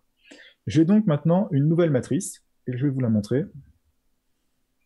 Cette matrice, la voilà, elle ressemble à ça. le problème, c'est qu'il euh, faudrait euh, agrandir un peu, mais grosso modo, j'ai des lignes et des colonnes, café americano, et à distance 4,12 de café au lait et noisette. Café au lait et noisette à distance 3,6 de café bio, etc. etc. Alors vous remarquez qu'il euh, n'y a pas la diagonale café americano versus café americano. Et en plus, ici, la matrice, il y a, comme elle est symétrique, eh bien, il n'y a que la partie du bas qui est renseignée. Alors, c'est pas grave d'un point de vue théorique, mais d'un point de vue pratique, tous les algos qui ont été créés, le code ne prend pas forcément en entrée ce type de matrice. Et donc ensuite, bah, je crée la représentation complète en utilisant une fonction qui s'appelle asMatrix. Et si je regarde mdist, c'est la même matrice, mais là, elle a vraiment la forme carrée qu'on attend d'une matrice standard, euh, telle qu'on la connaît. Donc, café americano est à distance 0 de lui-même, et puis par contre, il est à distance 4,12 de café au lait et noisette, etc. Donc, une fois que j'ai ça, je peux faire du clustering. Et c'est ça qui est magnifique. J'ai passé 10 fois plus de temps à vous expliquer tout ça que à faire réellement le clustering. Le clustering, quand on veut faire du clustering hiérarchique, ça tient en une ligne. Elle est ici, cette ligne. J'utilise la fonction hclust, donc clustering hiérarchique, sur ma matrice de distance. Lui, il est capable de prendre en entrée les matrices incomplètes avec une méthode de clustering qui s'appelle euh, d'agglomération qui s'appelle la méthode de Ward. Peu importe, c'est la meilleure méthode, je vous conseille d'utiliser ça. Je lance ça, c'est instantané et c'est fait. J'ai fini le clustering hiérarchique. Je vais faire la même chose avec les camins et ici je vais faire l'application de la méthode des camins à ma matrice de distance complète, puisque les camins prennent ça en entrée, et je demande deux clusters. je lance ça, et c'est fait. J'ai fini mes clusters. Maintenant, on va vérifier quand même que les choses correspondent à ce qu'on attendait. Je vais tracer sous forme de dendogramme mes clusters hiérarchiques que j'ai fabriqués ici. Donc je lance merde, j'ai sélectionné faux pas. Ah voilà, il a tout pété. Non, c'est bon. Hop, hop, c'est parce que j'ai la flemme de, réécrire. Voilà. Donc là, ça me crée. c'est le problème, c'est que RStudio, il sait pas bien euh, centrer les trucs. Donc, euh, comme je vais pas faire d'export, on va rester avec cette représentation. On voit le début des mots. Il me fait des clusters hiérarchiques sous forme de dendrogramme. Donc, on a vraiment une représentation complète des choses. Et on voit que brouette, eh bien, le mot le plus proche, c'est sécateur. Râteau est plus loin, mais au niveau d'ensuite, il va être regroupé avec brouette et sécateur. Et c'est là où on a, bon, là, il y a tous les cafés qui sont ensemble et puis qui finissent par être regroupés, sauf un. Il y a mmh. ici le café brésilien qui est regroupé avec brouette, sécateur et râteau. Et puis après, qui se retrouve regroupé avec tronçon, tronçonneuse, tondeuse et motoculteur. Alors pourquoi? Parce qu'il y a des entités en commun entre le café brésilien et le râteau, les sécateurs et la brouette. Alors il y a plein de raisons possibles à ça. Ça peut être le fait que Keyword GG n'a pas encore bien appris par rapport au râteau, sécateur et brouette. Il peut y avoir plein de raisons. Mais on voit que c'est pas tout à fait satisfaisant. on va voir sur euh, le quand on utilise le Kamins, qu'est-ce que ça donne? Donc là, clusplot, c'est une fonction euh, qui permet de faire les trucs. Et euh, ah, ah, il me manque la librairie qui permet de faire les clusplots. Alors dans quelle librairie c'est?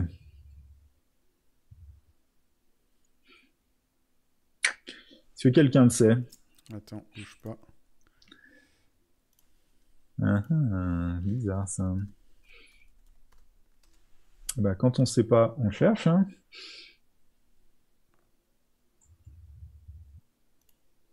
Ouais, non, mais je suis dessus. Bah, ouais, par contre, j'ai pas l'habitude de. Il est dans cluster. documentation. Ouais, ok, c'est ça. C'est keyword. Voilà. Euh, hop, hop, hop. Et donc, j'étais où? J'étais là. Donc, je lance mon close plot. Voilà. Et donc, alors la représentation est assez moche. Euh, et on voit tondeuse, tronçonneuse, motoculteur, binette ensemble, et Café Brésil qui est là. Et là, d'ailleurs, on voit aussi brouette, sécateur, râteau qui est mal placé. Alors déjà, il y a un truc qui est assez amusant. C'est que regardez, je vais relancer les camins. Je vais retracer. Ah, c'est le même, parce que ça n'est pas forcément toujours le même puisque les témoins sont placés aléatoirement au début des clusters. Donc on peut converger vers des clusters différents. Mais on voit que les camins sur la donnée keyword GG, avec des deux clusters, bah, ça donne un résultat qui n'est pas satisfaisant non plus. Donc c'est un peu triste, mais ce que je suis en train de vous dire, c'est que si vous utilisez euh, keyword GG en mode entité, vous aurez des résultats qui ne correspondent pas forcément à ce que vous vous attendriez à voir. Alors, là, je vais faire un truc, c'est là, je vous le mets parce que c'est utile de le savoir. Euh, cut tree, ici, c'est une fonction qui prend euh, un, clustering hiérarchique, mais qui va euh, juste créer un fichier qui contient l'individu et le numéro du cluster dans lequel il se trouve. Donc là, j'ai décidé qu'il y avait quatre clusters. Et assignation, eh bien, ça va contenir un ensemble euh, l'ensemble de tous les, individus de euh, chaque cluster avec le cluster qui est associé. Et après, j'ai des fonctions pour le mettre dans des CSV. Vous pouvez regarder ça à tête reposée. Je vais vous montrer ce que ça donne. Ici, j'ai donc créé euh, un fichier qui contient les clusters pour, par rapport à ma première méthode qui est le clustering hiérarchique.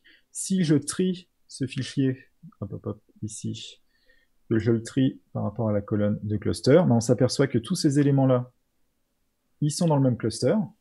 Ensuite, Café Brésil, Sénateur, Brouette, Râteau, ils sont tous dans le même cluster. Motoculteur, tondeuse, tronçonneuse dans le même cluster. Et binette dans un autre cluster. Et donc, on a un résultat qui n'est pas forcément tout à fait celui qu'on aurait aimé avoir. Euh, et si on regarde par rapport à ce que font les Camins, eh bien, c'est ce que je vous disais avant. Euh, on a des choses qui sont mal classées. Ici, je vais retrier aussi. C'est ça que je vais faire. Donc je trie, et ici tous ces éléments vont ensemble, et on voit que sécateur, brouette et râteau eh bien, sont mal classés, et que Café Brésil aussi, quelque part, il n'est pas là où je m'y attendrais en tant qu'être humain. il nous fait chier Café Brésil là. Exactement. Donc ça, c'est ce qui se passe euh, quand on utilise euh, l'entrée keyword GG. Donc je crois que il est mon truc, il est là. Euh, ça c'est le premier truc et, les slides qui sont là, euh, il y a tout dedans. par rapport à ça. Alors c'est amusant, c'est quand je l'ai fait tourner hier, ça donnait pas tout à fait les mêmes résultats. Euh, dépend euh, probablement plus, ça veut dire que ça dépend plus de Keyword GG qui a dû se remettre à jour euh, pendant la nuit. Euh, voilà. Donc ensuite, bah, on va utiliser un autre, une autre source de données qui va être sur TextGuru directement. Et donc là, je vais prendre cet autre fichier qui est qui est pas du tout là, n'importe quoi, qui est ici, qui est groupe test1.csv. Donc je l'ouvre, je zoome. Ici, ce que vous voyez, c'est euh, ce qu'exporte Your Guru quand on fait un groupe. Alors peut-être Fred, il faut que je montre comment on fait ça. Ouais, ouais, tu peux, ouais. Euh, ici, j'ai donc Your Guru et j'ai créé un groupe que j'ai appelé test1 qui contient les mots binet, râteau, brouette, etc. Donc comment j'ai fait ça hein, Quand on est dans Your Guru, qu'on commande un guide, on peut attribuer le guide à un groupe, et donc ça, enrichit le groupe au fur et à mesure. Une fois qu'on a fait ça, je clique ici, et ça me permet de voir tous euh, les éléments euh, du groupe, et je peux exporter tout le groupe d'un coup. Et donc ça me fait ce fichier CSV, euh, que je ne veux pas retélécharger, mais que vous voyez derrière, qui est ici, qui contient l'identifiant du guide. Donc euh, ça, ce guide-là, c'est le 3 millionième 400 000 et quelques guides de Your Text Guru. Sur la requête Café Americano, il est petit premium, c'est en français de France. Voilà les top termes, voilà les groupes de deux mots euh, qui sont compatibles entre eux, les groupes de trois mots compatibles entre eux, les entités. Et voilà. Et euh, ça, ça va être ma source de, de l'entrée. Ensuite, comment je vais utiliser ça? Donc qu'est-ce que je fais? Eh bien, je vais lire le fichier CSV. Donc, je lis le fichier CSV maintenant, si je regarde, dedans, qu'est-ce que j'ai? Ben, J'ai la même chose que ce que je viens de vous montrer. Ce fichier CSV, je vais décider de le transformer en un corpus pour faire la même méthode qu'avant. Euh, par contre, là, tu prends pas que les entités. Alors là, je ne prends surtout pas les entités. En fait, l'exemple que je veux prendre d'abord, c'est de prendre les top termes. Mais je pourrais prendre ce que je veux. Je pourrais regrouper les uns ou les autres. Mais moi, je pars du principe que Your Guru, il est ultra focus d'un point de vue sémantique. Euh, on sait tous les deux comment il fonctionne et on sait qu'il va prendre euh, les mots les plus représentatifs, les plus importants pour bien ranker sur une requête particulière. Et donc, de ce point de vue-là, c'est bien plus performant que du contexte, même que de l'entité. Une entité peut, euh, par exemple, si on prend une entité générique, si on prend Nike, Nike, c'est une entité qui va être associée au mot-clé basket, et aussi au mot-clé, par exemple, t-shirt ou, je sais pas, voilà, d'autres trucs de mm-hmm. sport. et donc, en fait, on, on, crée du flou en utilisant les entités dans ces cas-là. Alors, bien sûr, vaut mieux utiliser une entité que d'utiliser un contexte très très flou. Vaut mieux utiliser Nike que vêtements, par exemple. Mais quand on utilise euh, les top termes, là, on est vraiment sur exactement ce que le moteur attend, et donc on va fournir une catégorisation pour le SEO, enfin des, groupements pour le SEO qui seront beaucoup beaucoup plus pertinents. Et donc ici, moi, moi j'ai choisi d'utiliser les top termes. Mais j'ai fait des tests avec les groupes de deux mots, les groupes de trois mots, ou de prendre, etc. On a toujours de bons résultats. Mais bon, pour l'exemple, ce sera les top termes. Et puis, euh, la requête, c'est ça qui va être mon identifiant. Je fais tourner ces deux choses-là. Je processe mon corpus comme tout à l'heure. Je crée ma matrice euh, euh, de, poids qui crée les vecteurs weight smart. Je crée une matrice standard par rapport à ça. La voilà.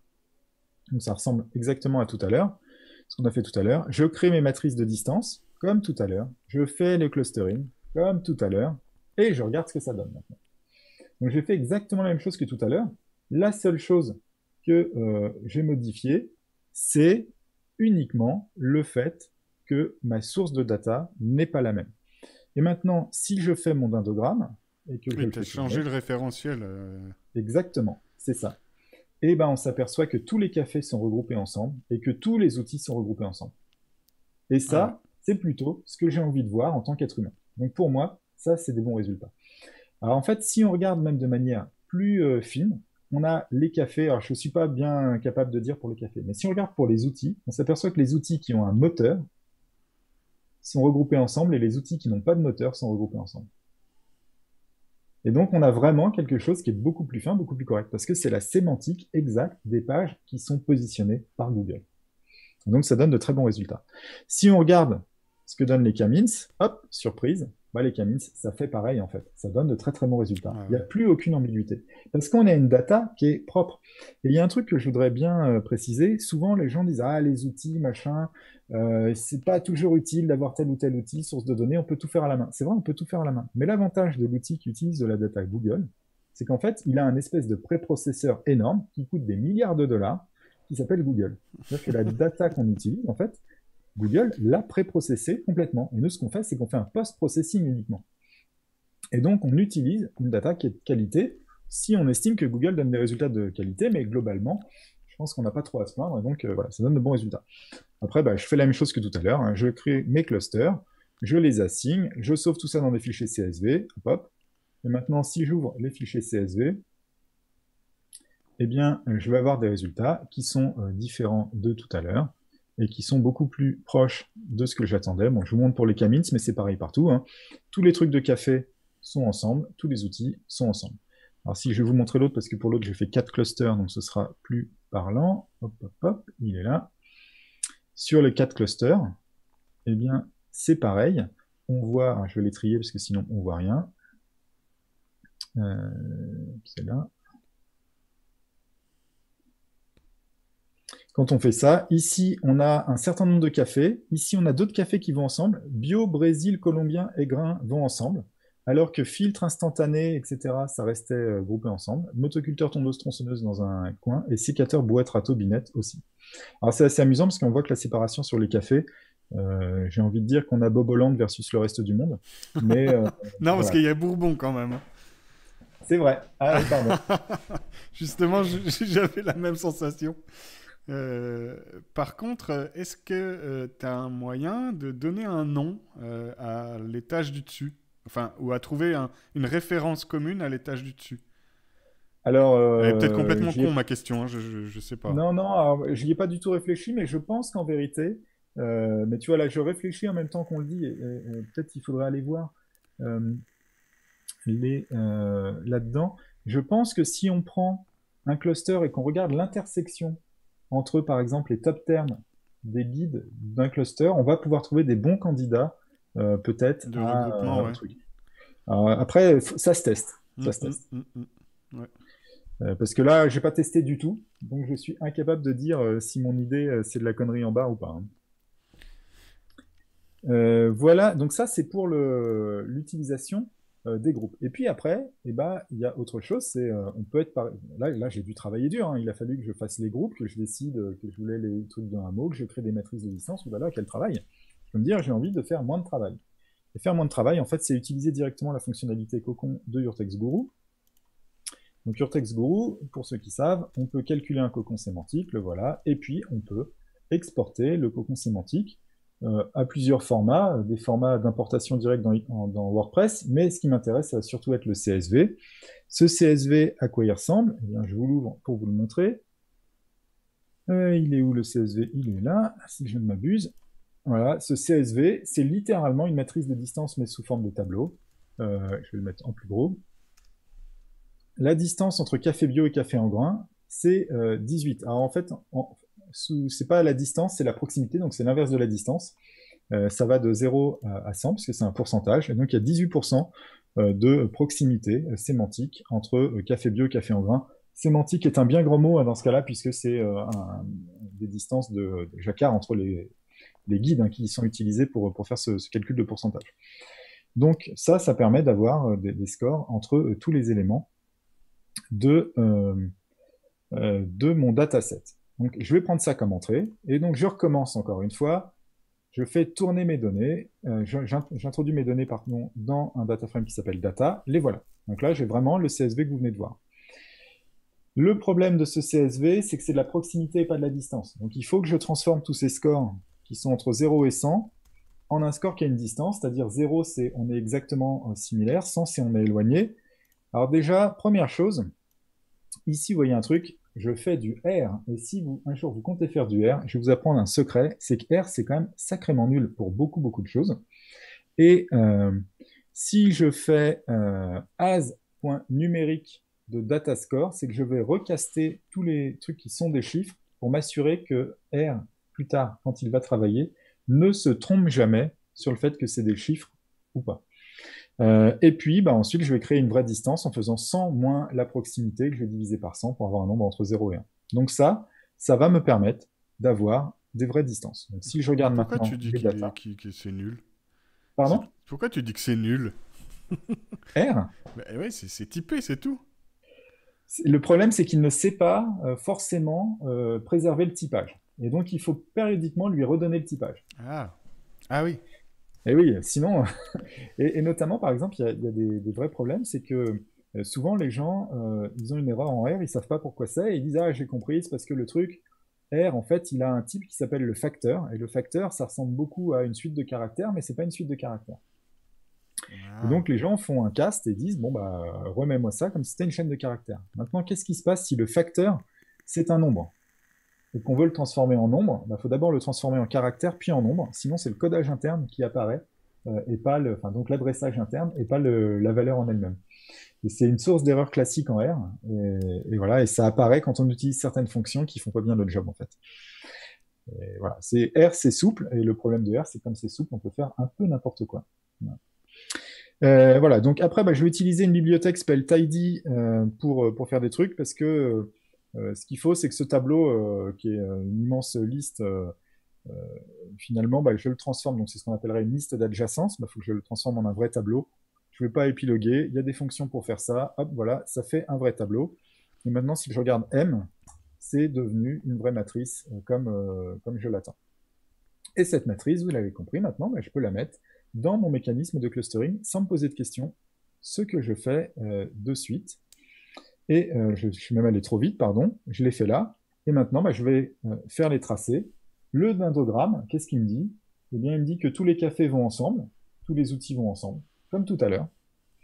Et le euh, clustering en utilisant les camins, eh bien, euh, il euh, ne me fait pas la même chose ici. Je vais le relancer parce que... ah oui, alors là, là il ne le fait pas. Oui, non, non, c'est normal. il est, c'est assez amusant. Quand on utilise... Alors là, c'est, justement le phénomène de tout à l'heure. J'ai forcé la main au camins pour faire deux clusters et euh, il a initialisé d'une certaine manière, et les distances ne sont plus les mêmes puisqu'on utilise, euh, en utilisant le cocon, on utilise les entités, on utilise les groupes de trois mots, les groupes de deux mots, et les groupes de, enfin, et les top termes en utilisant les entités, etc., on a fait des décalages parce qu'il y a des entités qui sont communes entre des éléments qui sont un peu différents. Et donc là, on a ce problème de, euh, quelque part, des extrêmes qui attirent les clusters. On le voit ici parce que ce cluster, il est extrêmement allongé, par exemple.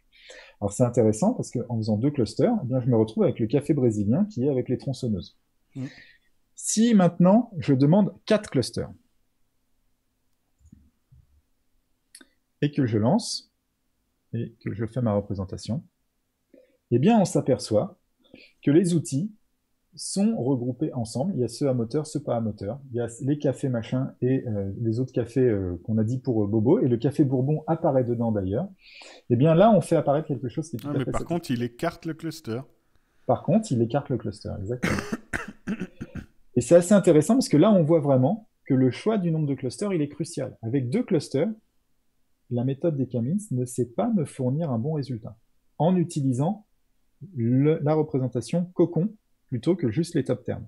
Par contre, si je mets plus de clusters, ça me fournit de très bons résultats. Et donc là, on a vraiment une problématique qui est, euh, ça reste une, euh, on ne peut pas 100% automatiser euh, les choses. On est obligé de faire, faire des, choses un peu fines. Et c'est pour ça, quelque part, moi, je préfère, dans un contexte SEO, l'utilisation du clustering hiérarchique, parce que, je ne veux pas faire offense au SEO, surtout pas, hein, mais euh, le, problème, c'est qu'on prend une mauvaise décision des fois quand on n'a pas la totalité de l'information. Quand on fait cette représentation graphique avec les camins, si je mets k égale 2, je prends une mauvaise décision. Si je mets k égale 4, je, mets, je prends une bonne décision. La question, c'est est-ce que j'ai la discipline, à chaque fois que j'utilise la méthode de clustering, de faire plusieurs tests pour voir que tout se passe bien? Et regarder toutes les représentations graphiques les unes derrière les autres, c'est pas clair. Si je fais du clustering hiérarchique, mon dindogramme me montre absolument tous les cas de figure d'un seul coup. Et donc c'est beaucoup mieux pour prendre des décisions. Parce que quand je regarde le dindogramme, bah, je vois comment les choses sont regroupées entre elles au fur et à mesure. Et donc, je sais dire, bah, je vais pouvoir couper de telle ou telle manière et faire quelque chose d'un petit peu composite. Donc, pour moi, le dindogramme, euh, sauf à moins d'avoir des milliers de mots-clés à faire d'un coup, c'est beaucoup plus pratique. Euh, ceci étant, on peut en discuter pendant des heures, mais si vous avez des milliers de mots-clés, ça vaut le coup de faire du clustering euh, à la hache pour faire des gros groupes, puis après de les reprocesser un peu finement, etc., pour avoir une très bonne qualité de résultat, euh, parce que c'est ça qui va quand même donner généralement les meilleures, meilleures choses. voilà. je reviens sur les slides parce que je crois que j'ai tout dit pour ça. Ça, c'est ce qu'on obtient. Je, vérifie que j'ai tout passé. oui, c'est ça, quand on fait du clustering hiérarchique, donc ça fait les choses comme il faut. Quand on joue avec et qu'on utilise des choses plus compliquées, on peut le faire tourner si vous voulez, mais je pense que c'est pas forcément utile. Faites-moi confiance parce que c'est littéralement toujours le même code. et eh ben, on s'aperçoit qu'il y a des choses amusantes. Hein. Par exemple, sur un, un, cocon café typique, qui, est celui d'un site réel hein, qui, parle de café. Euh, on voit des choses assez amusantes apparaître, euh, puisque bah, ça permet de vraiment catégoriser. Ici, voilà toutes les requêtes autour du café euh, que la personne a voulu attaquer. La question, c'est comment est-ce qu'on va faire pour les regrouper, par exemple, dans des catégories, etc. je ne sais pas forcément quel va être le nom des catégories, mais si je veux faire quatre grosses catégories, bah voilà typiquement les choses qui iraient bien ensemble.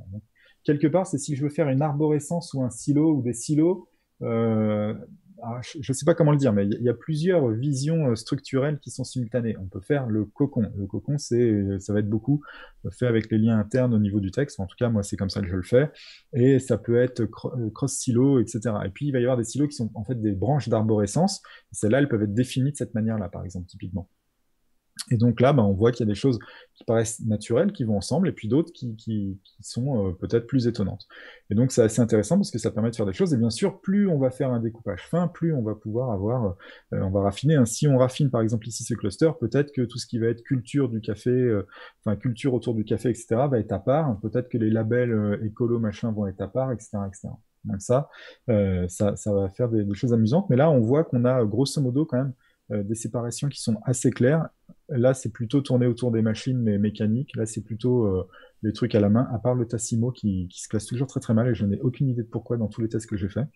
Et ici, on va avoir plutôt les cafés, les préparations, et puis ici, euh, plutôt, c'est celui que j'appelle bio, historico, machin, etc. Donc, on va avoir des, choses qui vont apparaître. Donc ça, c'est vraiment ce qu'on peut faire. Là, c'est par rapport à un cas d'usage où ce serait des requêtes euh, qu'on veut catégoriser. Mais en fait, il faut voir que maintenant que vous savez faire du clustering, vous pouvez en faire pour n'importe quoi. Moi, je vais vous montrer un cas d'usage bien plus amusant, je trouve. C'est celui-là. Qu'est-ce que j'ai fait pour ce cas d'usage? Je vais utiliser ce magnifique outil, et je vous le montre quand même. Euh, c'est Babar. Euh, en utilisant Babar, qu'est-ce que je fais dans Babar? Moi, je prends ici ce magnifique site des frères Perronnet. Pour ceux qui ne savent pas, je vous encourage à aller le voir. Il y a de très belles formations sur ce site.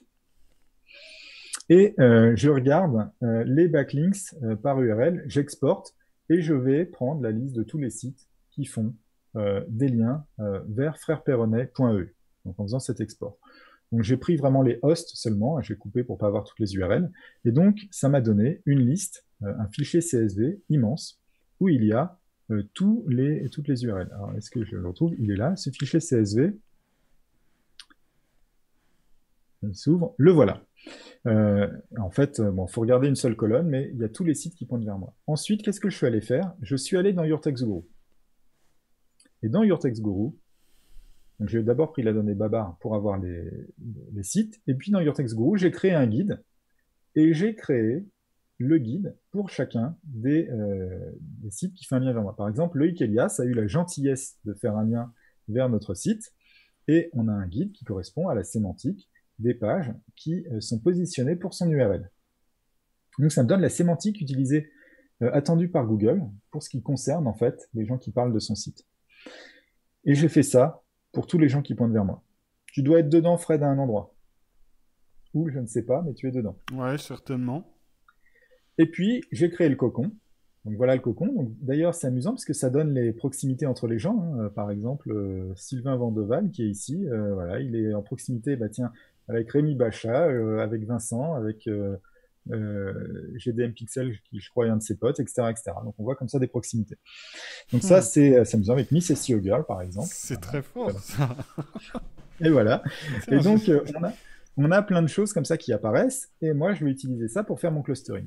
Et c'est amusant, donc là, j'ai demandé quatre clusters. Donc là, en fait, ce cluster, je crois que derrière, je l'ai mis sous cette forme-là, c'est beaucoup plus intéressant. j'ai fait quatre clusters, et ça me permet de voir des choses. Alors déjà, il y a un cluster qui est très très marginal, il est tout seul. Euh, bah, je ne l'ai même pas mis. Euh, en fait, il n'y a qu'un seul site dedans, euh, qui est le site... Euh, il y a un site qui aujourd'hui est en erreur, et donc je pense que c'est pour ça qu'il est dans son cluster tout seul. Puis après, il y a eu des regroupements, et c'est amusant, c'est d'essayer de comprendre un peu les, les regroupements, parce qu'on s'aperçoit que c'est très très différent. moi, je vois des choses qui sont amusantes. Hein. Par exemple, ici, j'ai le site de Laurent, Laurent Bourrelli, qui est dans le cluster 4. Bah, si je regarde, j'ai le muscle référencement, qui est aussi dans le cluster 4. On voit qu'il y a une certaine proximité dans le discours. Alors Il n'est pas là, Laurent. On va en entendre parler. ah j'espère bien quand même. il y a même Xavier euh, qui, qui, est là. Et il y a aussi Thomas Cubel, il y a aussi Raphaël Doucet, il y a aussi Olivier Andrieux, etc. etc. Il, y a, il y a, plein, de, plein de beaux mondes dans ce cluster. Ah rattrape-toi aux branches. Euh, Après, il y a un autre cluster qui est ici. Et en fait, c'est assez amusant. C'est qu'ici, c'est un cluster où c'est plutôt euh, des sites qui sont liés à des, grands noms, des gens qu'on a l'habitude de, voir et tout. Il y a quand même quelques agences et tout. Euh, là, on est plus, euh, c'est un petit peu différent. C'est plus du site type agence, beaucoup moins vivant aussi des fois et tout. Enfin, voilà, il y, a, des choses un petit peu différentes qui apparaissent. Après, si on veut vraiment faire le détail, on s'apercevra que certains ont, des discours plus techniques, d'autres plus marketing et tout. Enfin bon, il y a des choses à voir par rapport à ça qui sont pas forcément déconnantes. Euh, et puis bien sûr, le choix du nombre de clusters est extrêmement structurant. Hein. Si j'avais fait 5, 6, 7 clusters, euh, ce serait probablement très très différent et on commencerait à voir apparaître des phénomènes euh, bien bien plus plus intéressants probablement. Mais en tout cas, ça permet de faire ce genre de choses de manière amusante. Une petite question pour Sylvain. pourquoi ne proposes-tu pas de période d'essai sur tes outils? Mais qui pose cette question? Euh, C'est disciple de Batman Fitness de la vérité. ok. Euh, je crois qu'on a un de nos outils qui a, une période d'essai, et je pense que c'est Keyword GG. Je crois une aussi. De 7, jours. Euh, et je crois que MindReader, lui, il y a 4 résultats dispo gratuitement. Euh, voilà. Euh, sur les autres, pas de période d'essai parce qu'en fait, euh, on a tenté, on est chaudé. à chaque fois qu'on a fait des trucs avec des périodes d'essai, bah, finalement, les gens, ils ouvrent des centaines, des milliers de comptes et ils s'inscrivent jamais. Et en fait, on peut dire, ah, mais il y a peu de gens qui font ça, mais ils sont. Il faut pas oublier un truc, c'est que quand quelqu'un ne paye pas et utilise beaucoup un outil, il coûte très cher. Aujourd'hui, s'il y avait des périodes d'essai, il faut imaginer que vous, payez, le prix d'Urtex Guru serait peut-être de 50% plus cher. Est-ce que vous seriez prêt à payer 120 euh, euros par mois au lieu de 80 pour que euh, des gens qui ne m'achèteront jamais une période d'essai? C'est la question. Moi, je pense que c'est pas correct. De la même manière, on ne fait pas d'affiliation sur nos produits parce que ça augmenterait le prix euh, que paieraient les gens qui, utilisent vraiment l'outil. Donc, l'objectif, c'est de, voilà, Fred peut dire si peut, peut me dire à quel point j'ai raison, mais l'objectif c'est de fournir le meilleur prix, l'outil au meilleur prix. Moi, j'ai une autre vision aussi. Hein, euh, c'est que ça reste quand même. Enfin, c'est une vision complémentaire, on va dire.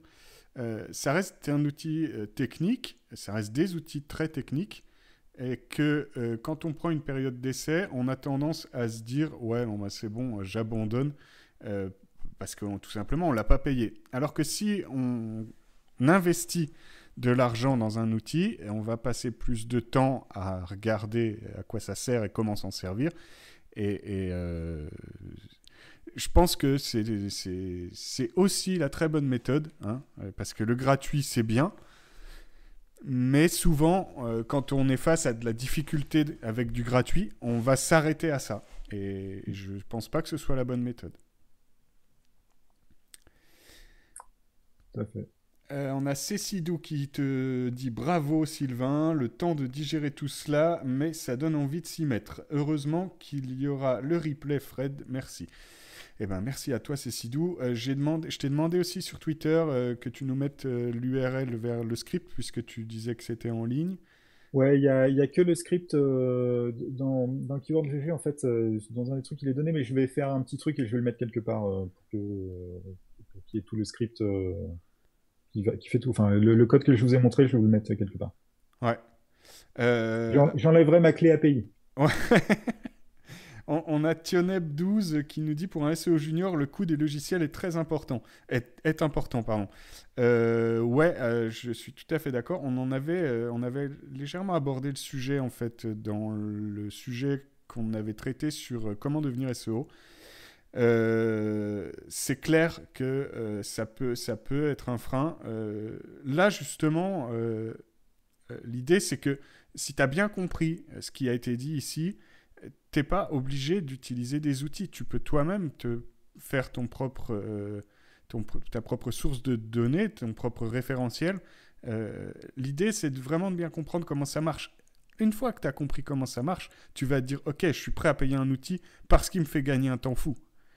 Mais si tu comprends pas comment ça marche, alors oui, en effet, les outils sont chers, mais en même temps, ils te serviront à rien. Et on en revient à ce que je disais tout à l'heure euh, par rapport au fait de payer. Après, euh, moi, je, je vais le dire, mais c'est pas pour, pour être désagréable, mais il faut aussi remettre les choses en contexte c'est que si on, regarde euh, aujourd'hui un SEO, il a besoin d'un certain nombre d'outils, et parmi ces outils, par exemple, il a besoin de son ordinateur, il a besoin d'un certain nombre d'abonnements, euh, des trucs obligatoires euh, pour, pour avoir son petit serveur avec son site, etc. En réalité, quand on, met en perspective, le prix des outils n'est pas beaucoup plus important que le prix d'une machine pendant sa durée d'amortissement fiscal, par exemple.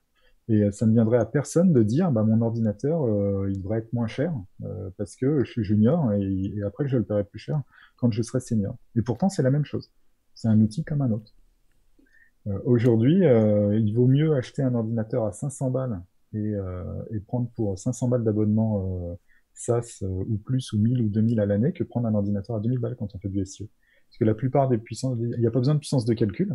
Euh, et, alors que voilà, n'importe quel petit ordinateur suffit pour faire du SEO. Euh, ce qu'il faut euh, après, c'est les outils. Par contre, eux, ils, ont leur propre puissance de calcul embarquée dans le SaaS en fait. Et donc, grosso modo, c'est aussi une question d'arbitrage. Et tout le travail qui a été fait en amont aussi, évidemment. Hein, c'est tu, tu as, tout, as tout ce qu'il faut, je dirais, pour, pour euh, faire tout seul, mais dès que tu te lances dans le truc, tu, tu finis par comprendre rapidement que tu as tout intérêt à, à, utiliser certains outils. Euh, c'est... Mais c'est vrai que pour faire son choix au début, euh, je dirais bien investir dans des abonnements sur tous, laisse tomber. Et dans l'autre sens, même si tout était gratuit, investir ton temps dans tous, laisse tomber aussi. Donc, euh... de toute façon, le, l'expérience montre qu'on on finit toujours par utiliser, euh, à part certains qu'on utilise un peu de manière euh, marginale de temps en temps, mais parce que euh, moi, j'ai la chance de faire partie des gens qui payent pas beaucoup d'outils. Parce que bah, déjà, il y a ceux qu'on a fait, on les paye pas. Et puis, il y en a beaucoup qui sont, voilà, on a l'occasion d'y accéder. Mais, mais il y en a que je paye avec plaisir, mais on se rend compte qu'on utilise toujours les mêmes. Moi, si je regarde, objectivement, euh, module hors le code qu'on fait, il y a trois outils que j'utilise absolument tout le temps. Euh, bien sûr, Text Guru et Babar, parce qu'on les a fabriqués parce qu'on est les premiers utilisateurs, et SEO Observer, par exemple. Ouais, SEMrush aussi, quand même. Hein. Bah, de fait, la data SEMrush, elle est dans SEO Observer. Ah, pas tout, pas tout. Euh, pour de l'analyse de marché, etc. ouais, moi j'en fais pas. beaucoup plus loin. Ouais, moi j'en fais. Ouais. c'est c'est, Mais voilà, oui, en effet, on, utilise toujours les mêmes, c'est vrai. Et ponctuellement, des fois, euh, on en utilise d'autres. Et euh, c'est pour ça, euh, d'ailleurs, que moi, je ne suis pas totalement contre les groupes buy, hein, mais... bah non, mais bon, il y a des fois, quand tu utilises très ponctuellement un outil, si c'est pour faire une ou deux requêtes par mois dans un tool qui te coûte 60 balles par mois, bon, bah voilà. Mais, je vois que tu début 2021, je vais lancer du troll, tu sais. tu, tombes dans tous les panneaux de Xavier, c'est pas possible. non, j'avais même pas lu. ah. non, j'avais même pas lu. Euh, non, non, mais bon, vous connaissez mon, mon avis là-dessus. Hein, je, je m'en cache pas. Euh, après, euh, je dirais bien, c'est comme, c'est comme pirater de la zik. Euh, ben, il y a un moment donné, euh, si on a les moyens et puis qu'on apprécie énormément l'artiste, euh, faut le payer, quoi. C'est mieux. C'est juste une question d'éthique, quoi. Après, moi, je vais parler de nos propres outils sur un truc. C'est, il faut pas oublier quelque chose, c'est que nous, on a fait un choix qui est très très différent, par exemple, des fois de certains compétiteurs. Ils sont illimités. Quand vous utilisez Your Text Guru, il y a zéro limite à ce que vous pouvez faire tous les mois. C'est d'ailleurs assez compliqué comme prise de décision.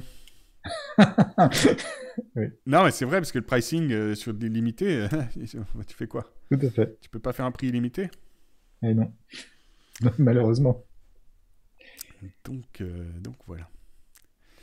Eh ben merci Sylvain, en tout cas, j'en ai eh ben, pris plein la gueule. Euh, j'espère que vous avez apprécié. Vous avez apprécié, les amis?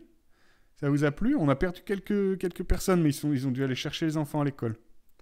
Surtout qu'il y a pas mal de départements où on est coincé à 18h. Là. Ah oui, c'est vrai. quel enfer, je te jure. quoi. sans déconner, mais ils ont, ils ont pas réfléchi, c'est pas possible. 18 heures, quoi.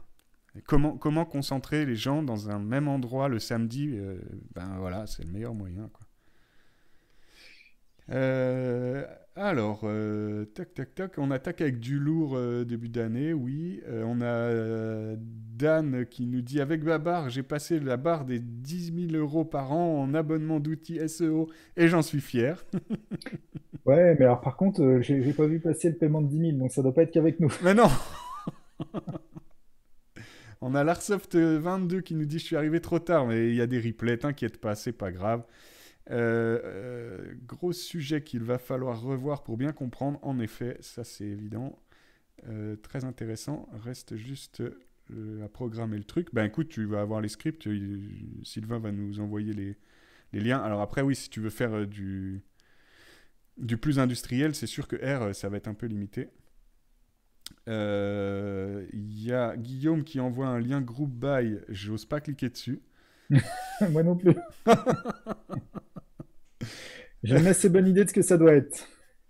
On a Was Game qui nous dit très technique mais très intéressant. Ouais, je, suis d'accord. C'est clair que c'est très technique, mais bon, euh, la pédagogie de Sylvain est quand même euh, vraiment de la crème, quoi. C'est la nuts là, hein, euh, parce que ben non seulement on a eu l'utilisation d'outils, mais une explication approfondie du pourquoi on, fait comme ça et, où, où est-ce qu'on va. Donc c'est cool, quoi. Euh, ouais, merci Sylvain, euh, c'était c'était top. Bah, merci à toi. Et maintenant, à vous de jouer. Euh, on va finir. tac, tac, tac. Là, on est bon. Je vais placer ton écran ici. je vais vous rappeler les différents invités qu'on va avoir sur les sessions suivantes. Sylvain, tu es toujours là, hein, si jamais. si vous avez aimé, évidemment, vous cliquez sur des petits pouces. Je vois qu'il y a beaucoup de gens sur euh, sur YouTube, euh, n'hésitez pas, hein, si ça vous a plu, euh, cliquez sur le pouce avec le pouce en l'air. Hein. L'autre, on s'en fout. on s'en fout. je vous rappelle que je fais du coaching, je propose du coaching SEO à l'heure. voilà, si vous avez besoin d'aide sur un projet, si vous avez besoin de vous, perfectionner, de profiter de mon XP, quoi. Hein, faites appel à moi, n'hésitez pas. de toute façon, on passera déjà du temps à discuter de votre problématique euh, avant que je dise oui, euh, je, peux bosser pour vous.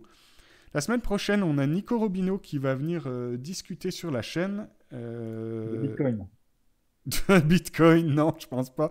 D'ailleurs, j'ai failli presque en parler. Je me suis dit, tiens, quand même, gros sujet, mais non, non, non, non, je, ben, je pense pas en fait. Hein, un, sujet qui, lui tient à cœur, peut-être un sujet sur lequel on a travaillé les deux, je ne sais pas. Au Fred, les fautes de conjugaison, voyons. Ah, qu'est-ce que j'ai fait? Où ça, une faute de conjugaison? Là?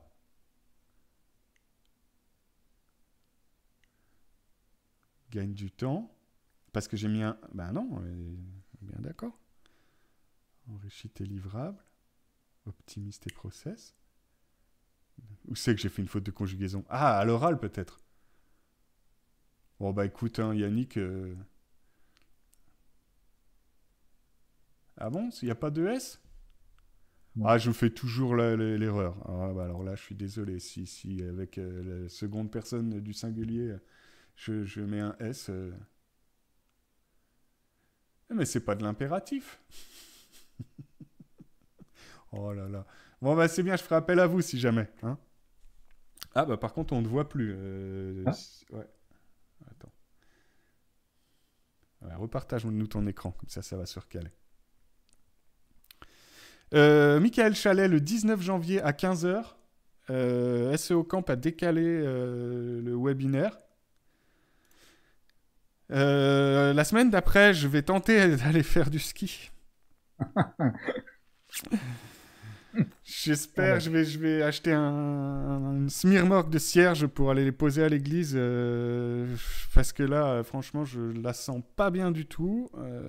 bon, puis je suis pas trop ski de rando, moi, donc donc voilà, euh, le mardi 2 février, nous aurons Paul Sanchez qui viendra nous rendre visite, euh, Laura Blanchard le 9 février, et continuez à participer, continuez à relayer, euh, si vous aimez, ben voilà, hein. parlez-en. en tout cas, je suis, bien content. On avait quasiment 60 personnes en pic là aujourd'hui. pour la rentrée, ben ça, me fait, ça me fait un grand plaisir. évidemment, hein, tu n'y es pas pour rien, Sylvain. Hein. À chaque fois que tu es là, il y a toujours des belles audiences live. Avec Paul, tu vas faire carton plein. Avec Paul, on va faire carton plein, c'est certain. Euh, mais euh, je ne sais pas où est la limite du carton. Hein. voilà, euh, prenez soin de vous, portez-vous bien, faites-vous plaisir. Si vous voulez accéder au replay, vous avez ça sur YouTube en priorité, tricaya.fr slash YT pour le, le, raccourci. sinon, vous avez aussi les replays sur Facebook et sur Twitch pendant deux semaines. Voilà, la plateforme que vous préférez. Amusez-vous bien, faites-vous plaisir et bonne année. Des bisous, des bisous. Salut. Ciao, ciao, ciao.